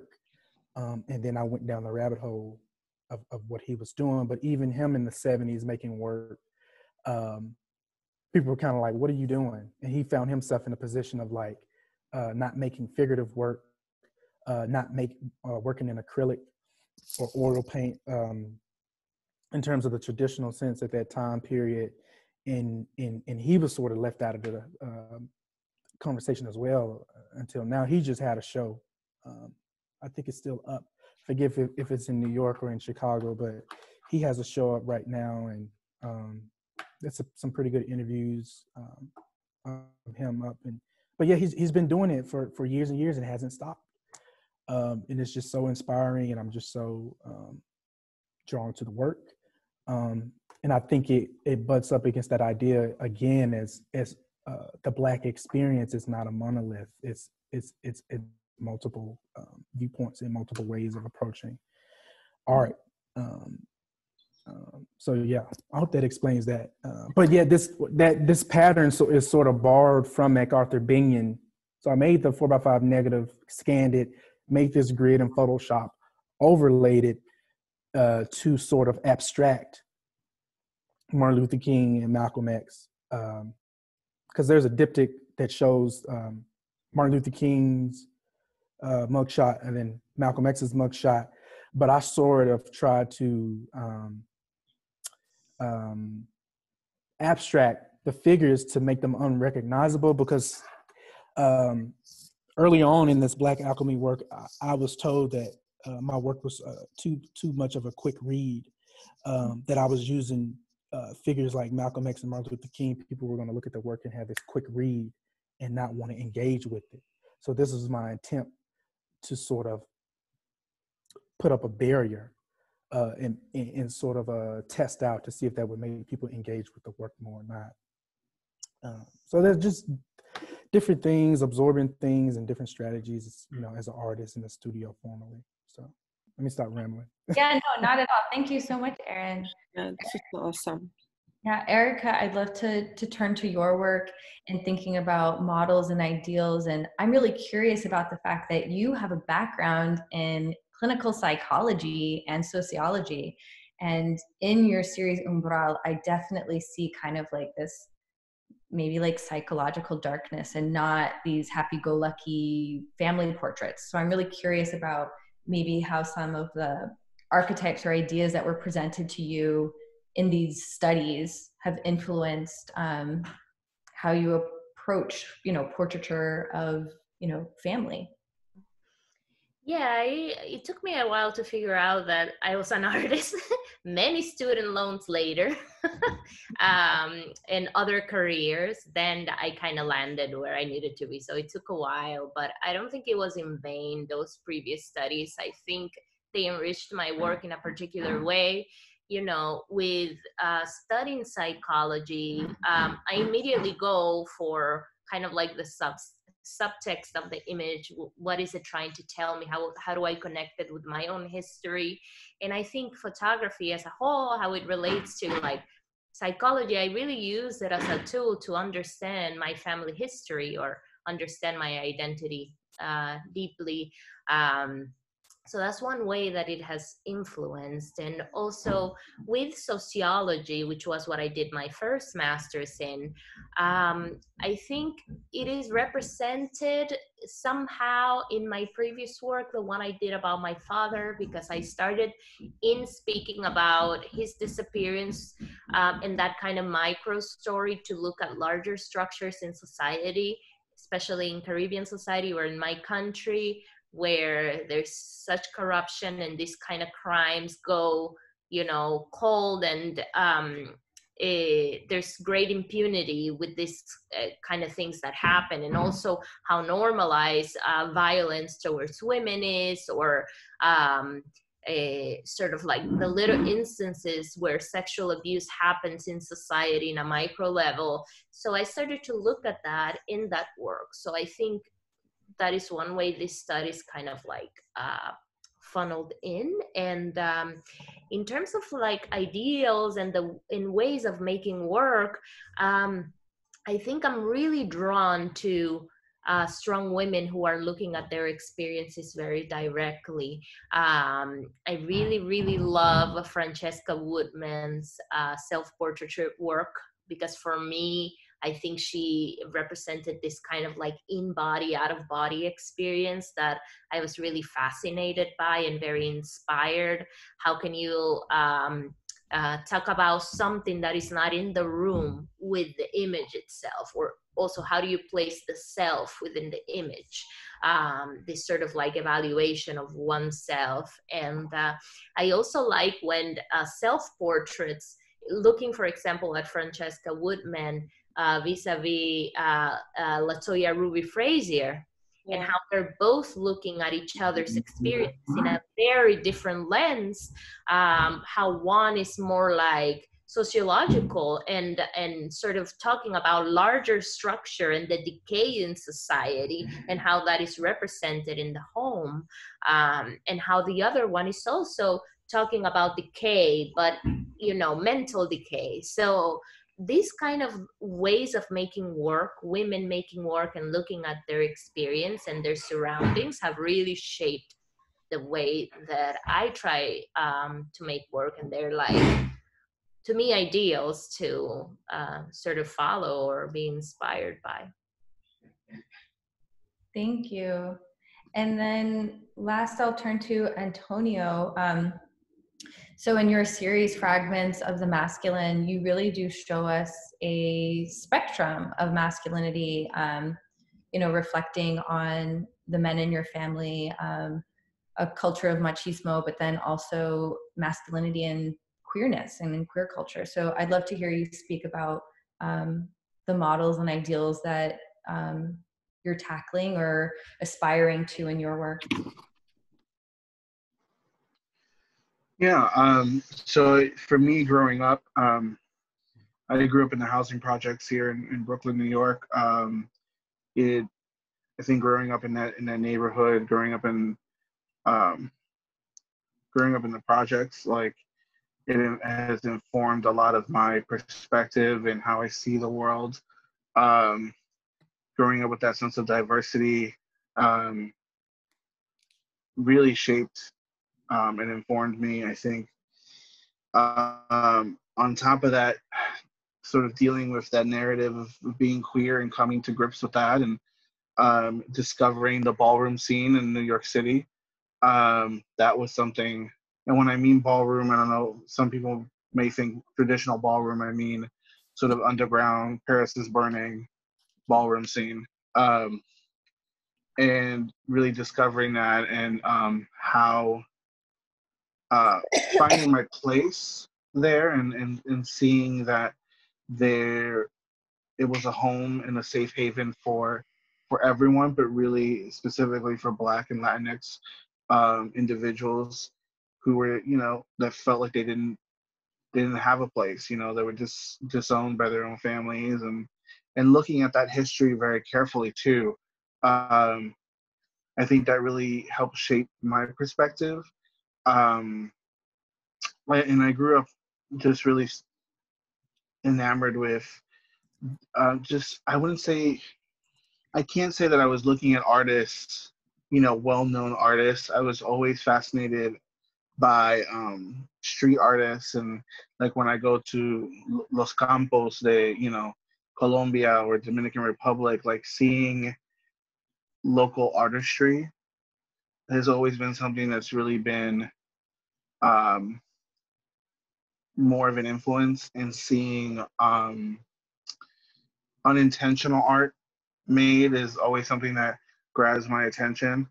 Mm-hmm. Um, and in terms of the the themes that I discussed in this work, yeah, it, it really does go back to um, this battle between my you know two cultures that I um, I, I had to separate for a very long time in terms of my identity.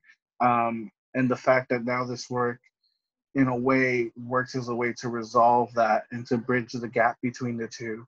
Um, and a lot of that comes from my experiences coming out and and having to live two lives you know going going going to the balls going you know um and, and, and seeing that culture, learning about um, art houses, um, houses in the ballroom scene, and and then later on, I you know having my own art house, um, a collective, a community of like you know diverse artists who um, all supportive of each other and like being considered a mother of that house um, um, is is in that sense of family, the chosen family, um, has really influenced um, a lot of my work now, um, in particular these collages.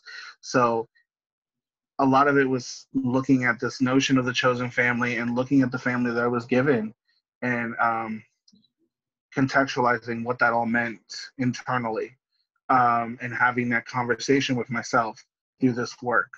So, um, yeah, I think for me, it was just a lot of my experiences. I can't, you know, and and this idea of you know taking back the Latinx narrative, having these difficult conversations within our communities about outdated ideologies. Um, uh, this idea that the man, uh, the Latino man, has to be a certain way, um, has to live up to a certain blueprint, and and and really examining what that's led to the type of misogynistic behavior that that leads to and like and having those discussions um also acknowledging that like I, I look at my father and he has some machismo qualities but they're i think that they're a lot of them are predominantly more on the positive side you know this sense of honor um and and loyalty and, and, and respect. Um but you know he's had to unpack a lot of conditioning from his culture and i think that's where my work um, i think that's what ultimately what i want to do with my work and where it's informed is about unpacking conditioning because um, we're all con- you know we're all conditioned in a certain you know in a certain way from our upbringings and for me it's like looking at the culture and unpacking our conditionings in certain aspects um, not everything because i mean i love being Latinx.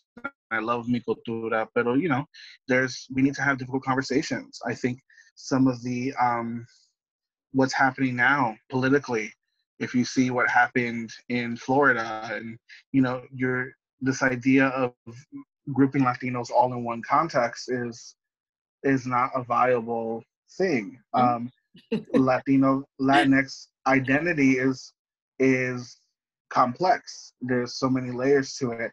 So I think it's you know, but we as a as a community at large, we have not had these discussions and and there there's a lot of pushback still to these discussions. So I think what I want to achieve with my work and like sort of the modes that influence it is about creating teachable moments, um, taking a moment for empathy and compassion and understanding, and and hopefully this artwork um, it serves as a doorway to that um, in in talking about it. Um, so I think that's you know that's and, and I'm, sure I'm forgetting something. Sorry, I'm still, still a little bit under the weather, but like there's a lot that influences the work. But I think now, as I'm sitting here reflecting on everything that's happening right now, I think that those are really the major components that come to mind. Thank you, Antonio. Thank you, Antonio. Um, I, I just want to um, thank you and thank Stephanie for um, asking this last question because um, it will resonate with me the unpacking conditioning and um, as a word that kind of like summarizes where to move forward and where to kind of like break with all these um, expectations that were set up. I, I, don't know how or why but we have proven and and and, and approved that um, not all can conform to, to to those. And i i want to i want to close this conversation by saying that i take a couple of things or many things from this conversation, which is the the memory, the archives, the family, the, but also I, I see rebellion as a you know it's funny that we have the work of Damaris Alvarez in the middle of the room as a rebellion thing, but also to kind of like not conform to those expectations is something that I see as a as a as a consistent thread in the work.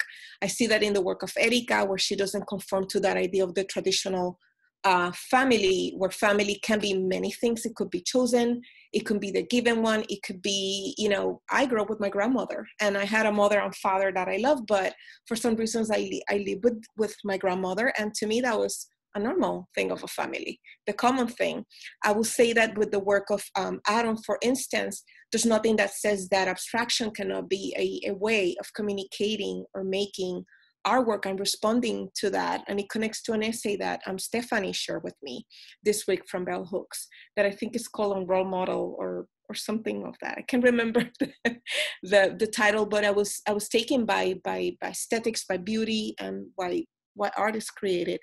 And with Antonio has to do with how he how he's presenting himself in a very masculine way and how that part of being a, a, queer Latinx man is how he presents himself as a man. So um, before we wrap up this uh, wonderful conversation, I just want to ask if you have any questions for each other. Um, and I'm going to mute myself to let you ask those questions for each other.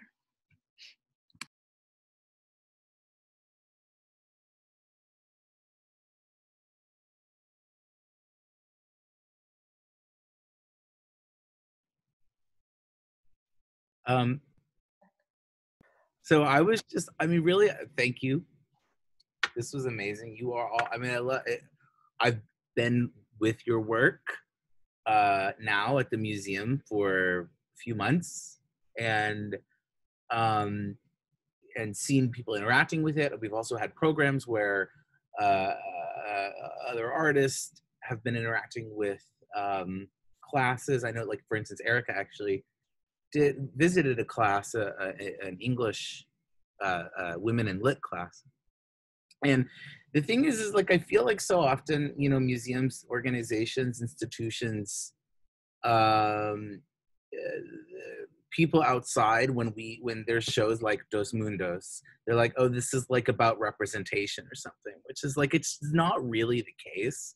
Um, it's an opportunity to serve the audience uh, that exists here, right? And that's why I think this it's so important that this show is going to these university galleries because the students getting to see how you're all grappling with things that they grapple with, right? It it is I don't know, like I was talking to Bill Aguado yesterday and he was like, "Oh, is it going to, you know, I hope we get all of this national art press and that it you know it's this big hit in the art world and and the thing that i was like i was like bill like i mean that's i agree like it deserves that but it's also like i measure impact um not by like you know whether or not something ended up in the New York Times or whether or not something uh, uh, moves on and goes to MoMA or something. But it's really about the audience interaction, like who's seeing it, who's it made for, and is that person that it's made for seeing it?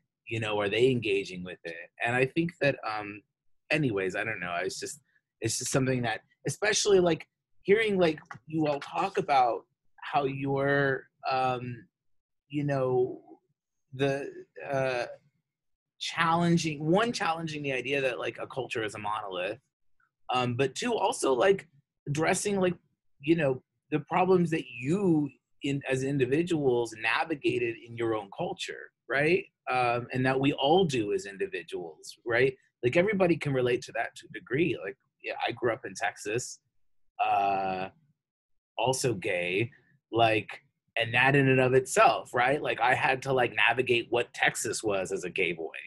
Um and so i don't know what i'm saying other than that. I think it's right that it's in a university art museum uh, uh, and and it's so good that it's traveling to others because we've got that built-in audience of young young people um, who are at that point in their lives where they're forming their identity and they need to hear voices that they can find themselves reflected in.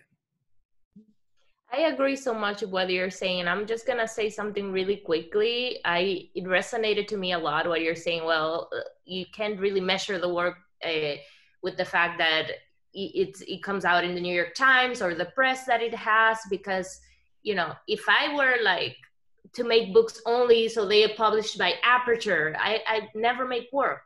Or if i am only thinking like when am i gonna get like a soul uh, be represented by like this gallery in new york city? Like that's not the point. I think that also um, understanding that the privilege that is around those spaces and how sometimes like whatever work we're making is that our audience? How does that fit? That's something that i keep asking myself like who's my audience? Um, and uh, I get a lot of satisfaction from just having conversations with people and kind of like opening up a dialogue um, and not necessarily like the huge big achievements. Not that they're not great but you know it's it's not the standard. The point is making the work and going through that struggle and somehow engaging in conversation with someone else um, so that resonated with me what you're saying um, it should be that the goal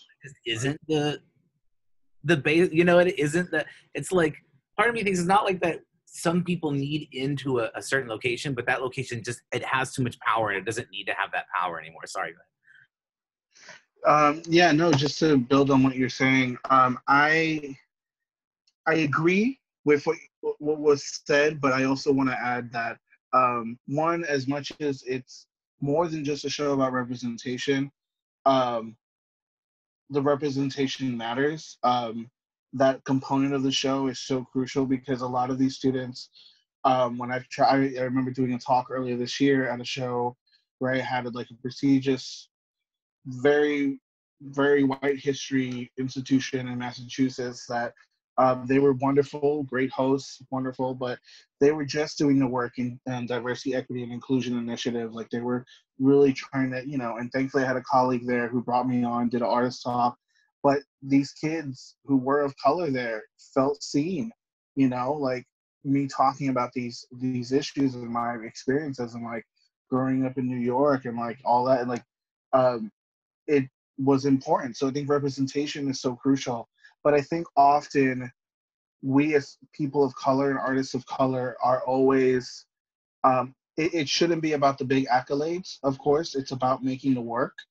However i do say that i feel like we shouldn't accept the um, the the bare minimum. Um, i think that we should be accepting our roses while we're doing the work you know um, and we should get that recognition just like our white contemporaries have for quite a long time.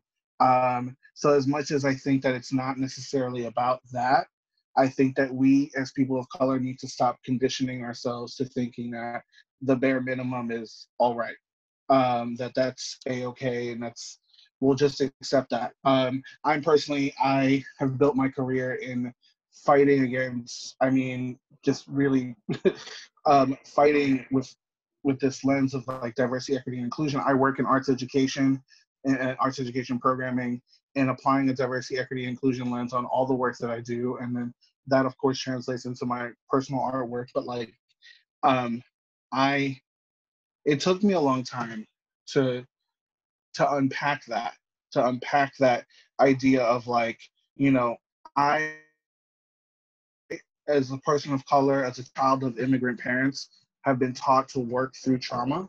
And we and and and and what we've learned about the, the current social political movement is that the black community has been conditioned in that way for so long to work through trauma and now it's like no it's like they you know they and so many other people of like other communities of color deserve to get their roses as not after they've gone and the new generation comes and takes their place and does the work. Why can't we get our roses while we're here doing the work now? So i think that's my mentality is you know so completely like i agree what you say but you know it's it's it's it's been something that i've i've learned to to unpack um in recent years. So just wanted maybe to piggyback off of that antonio i'm also thinking about like how can we as artists and art administrators of color be in multiple spaces right? And really show up with all of our all of our diversity right? How can we express ourselves in all the different forms that we want? Um, just really showing that we are not a monolith really showing all of our nuances you know being loud when we want to be loud being quiet when we want to be quiet. Um, thank you antonio. We are nearing the two hour mark so I just want to check in and see if there are any last questions. Also, Melinda, Ron, if you have any questions, feel free to um, share them. I actually have a question for Aaron. I was wondering if he is, since his work incorporates, um, I actually have two questions. Since your work incorporates like historical figures who were in a social justice movement before it was called social justice. Mm-hmm. It was civil rights. Um, are you incorporating any of the contemporary figures who are involved in social justice into your work? Very That's one question. The second question is why do you feel a need to photograph your you're, you're, you're making like collages and sculptural work but you're presenting them as photographs. Why not present them as collages and sculptures and leave photography completely out of the equation? Those are long questions, forgive me. well, to answer the last one first, um, I deal with that in the studio every day that I enter it, um, every day. Uh, why am I using a photograph? Why am I using a camera? Um, and I actually in my studio right now I'm working on um, two paintings. Um, because sometimes the, the photograph is so limiting. Um, so I moved I move and bounce around to other to other um, mediums. And you know when I'm when I'm making I am making these collages and installations in in in, in the studio and it's kind of just sort of documenting my time in the studio really it's documenting these installations um, because as soon as i get that image i break it down and i mm-hmm. put up another one and then i photograph that i break it down i put up another one um, like that and so i feel like with all the black alchemies uh, i've done volume one two and three it's creating my own archive and what i'm thinking about now is how how is it presented um, I'm exploring things like virtual reality. What does it mean for someone to walk around in one of these installations that I photograph? Going from a 2D compressed space back into the 3D space. Um, I'm just moving very slow at it. But those are things that I'm thinking about and, and actively working through in the studio. It's, it's something that I ask myself um, uh, every day in the studio, and it's a challenge to work through. But it's exciting. That's what makes being an artist exciting because you get to to sort of like work through all these ideas and say, what if? What if I put all this together and leave this out or add this and multiply that? Uh, what do you get? And then to answer that first question about uh, the past social justice movements, the civil rights movement.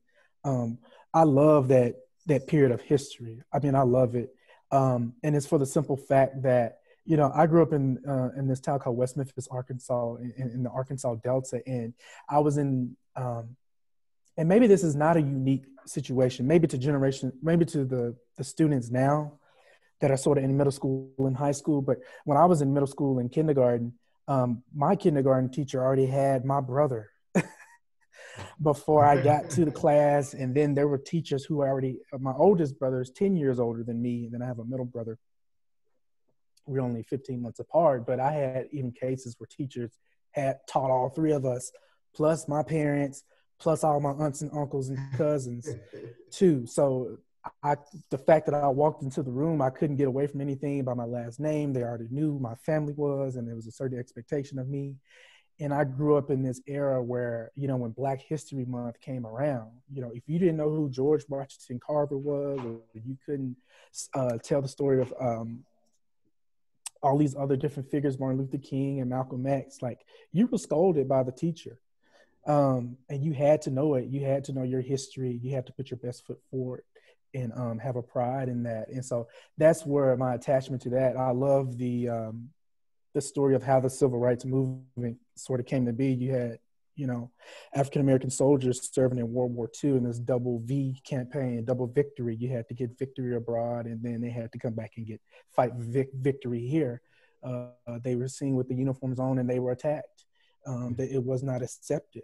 Um, kind of like how the military service now is seen as this big, um, you know, pedestal that people get put on. But then I have family members who um, went through the military service and came out alcoholics and addicts and uh, have all these different problems as a result of military service. Even people being exposed to Agent Orange, different family members who served in Korean War and Vietnam War and different stuff like that. So it's put on this pedestal, but then there's all these uh, negative things attached to it as well.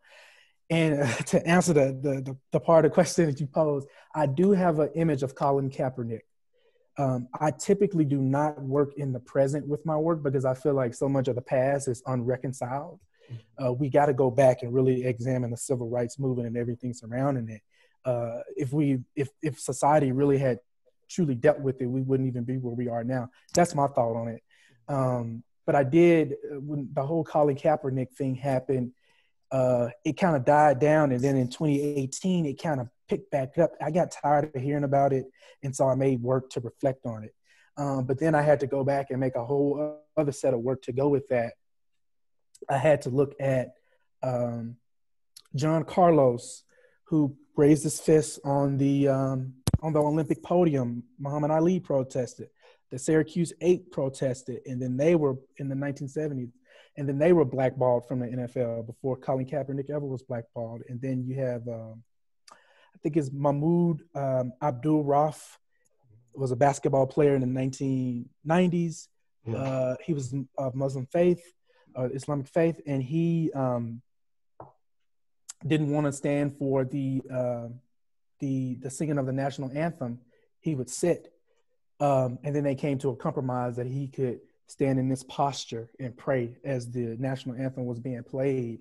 But then, you know, this was a guy that was playing in Michael Jordan's era and just was just as good as Michael Jordan. Put up big numbers against Michael Jordan every time they played the Bulls. He played for the Denver Nuggets, but then he was traded after this 1996 season, and then at the age of 30, he had no career anymore.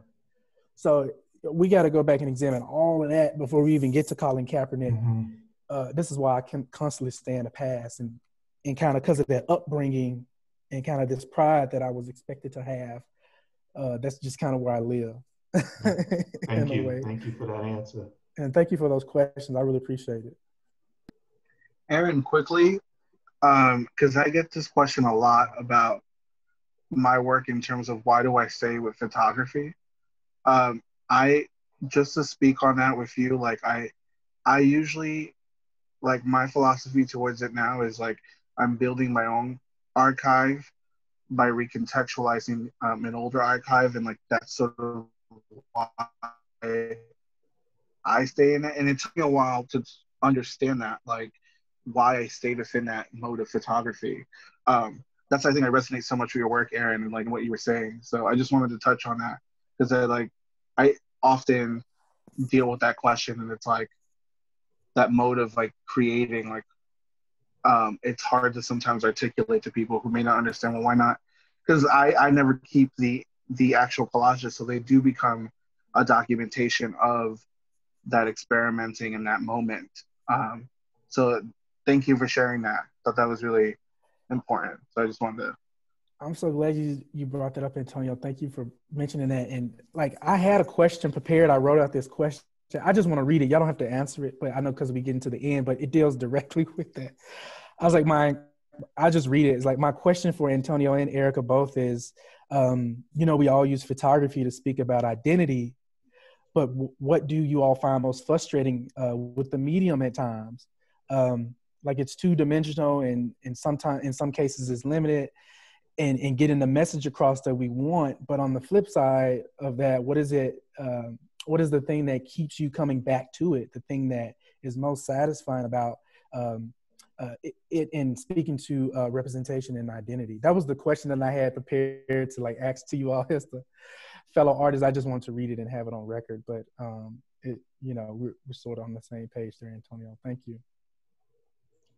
I think for I'll me, just. Add, oh, oh, sorry. No, you no. go. No, you go. I already spoke. You go. Mm. No, I think for me, uh, what I love about photography is also the frustrating aspect of it, which is this idea of truth. Like, if it serves as a real document, is this like a real document of what's happening? How sometimes when you take an image and you have an intention with it, the image ends up becoming something else or is interpreted in many different ways. Um, and that sometimes can be frustrating when you're trying to express something and and you can't really get at it through the image like you might need other resources text or you know other recontextualization or like other mediums a book or something. But i think that same frustration is also the powerful aspect of photography. For example i like working a lot with found imagery and how in found imagery or in vernacular photography, how you can imbue an image that is not your own with a different narrative, how you can kind of like insert a narrative or use that as a way to carry another meaning that is not necessarily what was the meaning of when the photo was taken. So this kind of like line between fiction and reality of what's happening when the image is being taken and, and the idea of truth if, if it's a truthful document i think that's what that's what fascinates me and keeps me engaged with the, the malleability of it. And also images that are your own images that are someone else's um, the collaboration of it is just really ripe for um, a lot of different avenues of working so Yeah, I mean, just to add to that, for me, um, it's really what keeps me the keys photography part of my process is um, this idea of like creating my own archive.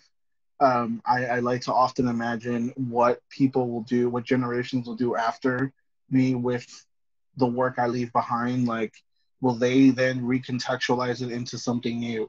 Um, it's it, it for me is I think this notion of um, truth in photography is a complicated one for me. I, I, I think that there's there's many versions of truths in photography, uh, which is always an interesting and complex um, thing to grapple with. Um, but I but ultimately I think what like for me what can be frustrating about photography is not that it's limiting, but I feel like um, that sometimes there are people within the photographic field that like can't expand their imagination as to what photography can be and how it can be reimagined and transformed and and and, and recontextualized in different ways whether that be in a space um, whether it be um, via presentation or practices and approaches to image making.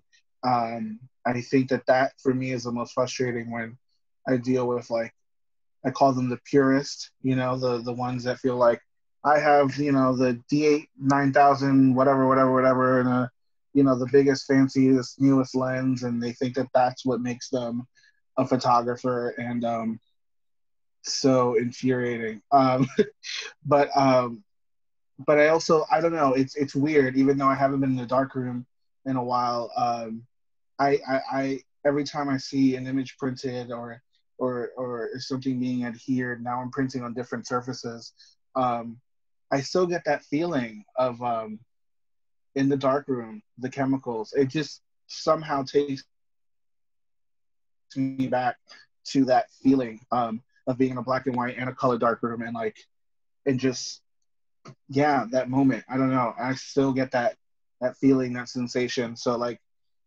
um once that stops if that ever does hopefully it doesn't then i'll re-examine my practice. But i think as long as i still feel that um I think photography will continue to be part of my practice. And um, and just sorry just to wrap it up on my end um, I think also for me as like growing up in the projects and in terms of accessibility like an actual like analog camera was not something that was always accessible to me. My mom had to work overtime in a laundromat to like afford my first camera my first analog camera like it was not something that we that was like a lavish thing to have. Like it was a big deal to have um, growing up.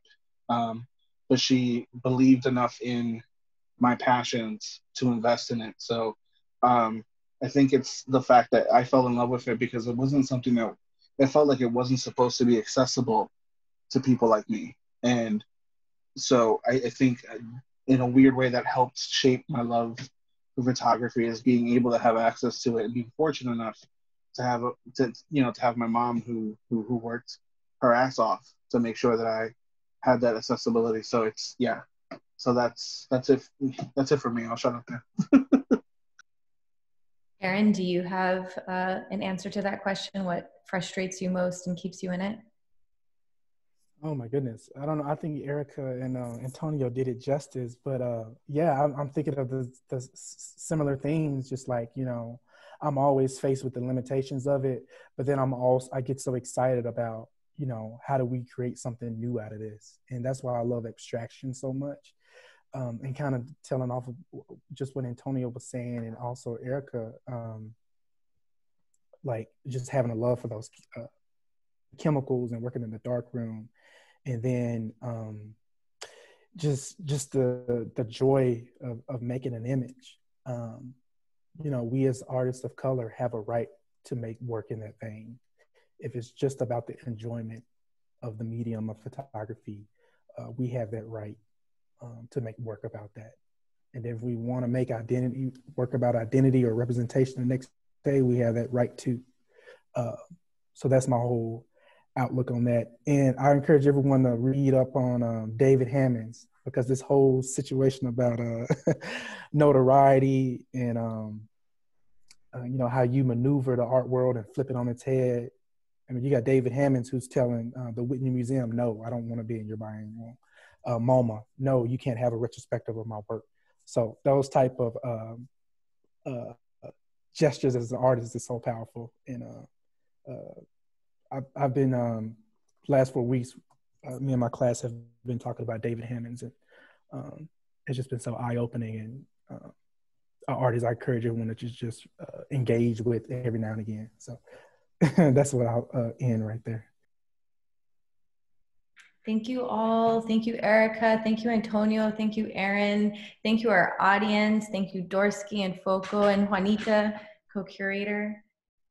Yeah, thanks. Thanks to the artists. Thanks to the curators. Thanks to uh, Ron and the rest of the staff over at Enfoco. Um, this has been really this has been great. It's made the day even better for me. Uh-huh. It was a real pleasure. There's nothing like hearing artists talk about their works. I I have the best job in the world. Yeah, so, totally. not even a job. My son is like, you have too much fun working. I know I do. Oh, it should be, right? No, thank you guys for the opportunity to um, reflect on on our practice and uh, I really enjoyed it. And just for the opportunity of being in a space with um, so many wonderful artists that inspire me and that you know make me ask different questions and uh, thank you and let's celebrate Yeah. Thank you so much Stephanie and Juanita. Thank you guys so much. Antonio, and congratulations. Thanks, everybody. Thank To see you both makes me feel seen. I love you guys. Thank you so much. Thank to see you all, to see you all. But yeah, that's Yeah. we need more POC and female curators in the game. So thank you. Thank you, thank you, thank you. antonio you should celebrate with some arepas just saying Ay, mira. Mira, yo me voy a buscar una cervecita, una arepa y ya, olvídate. yeah Thank you guys so much. Eric, Take care. Bye, everybody. Bye. Bye. Bye.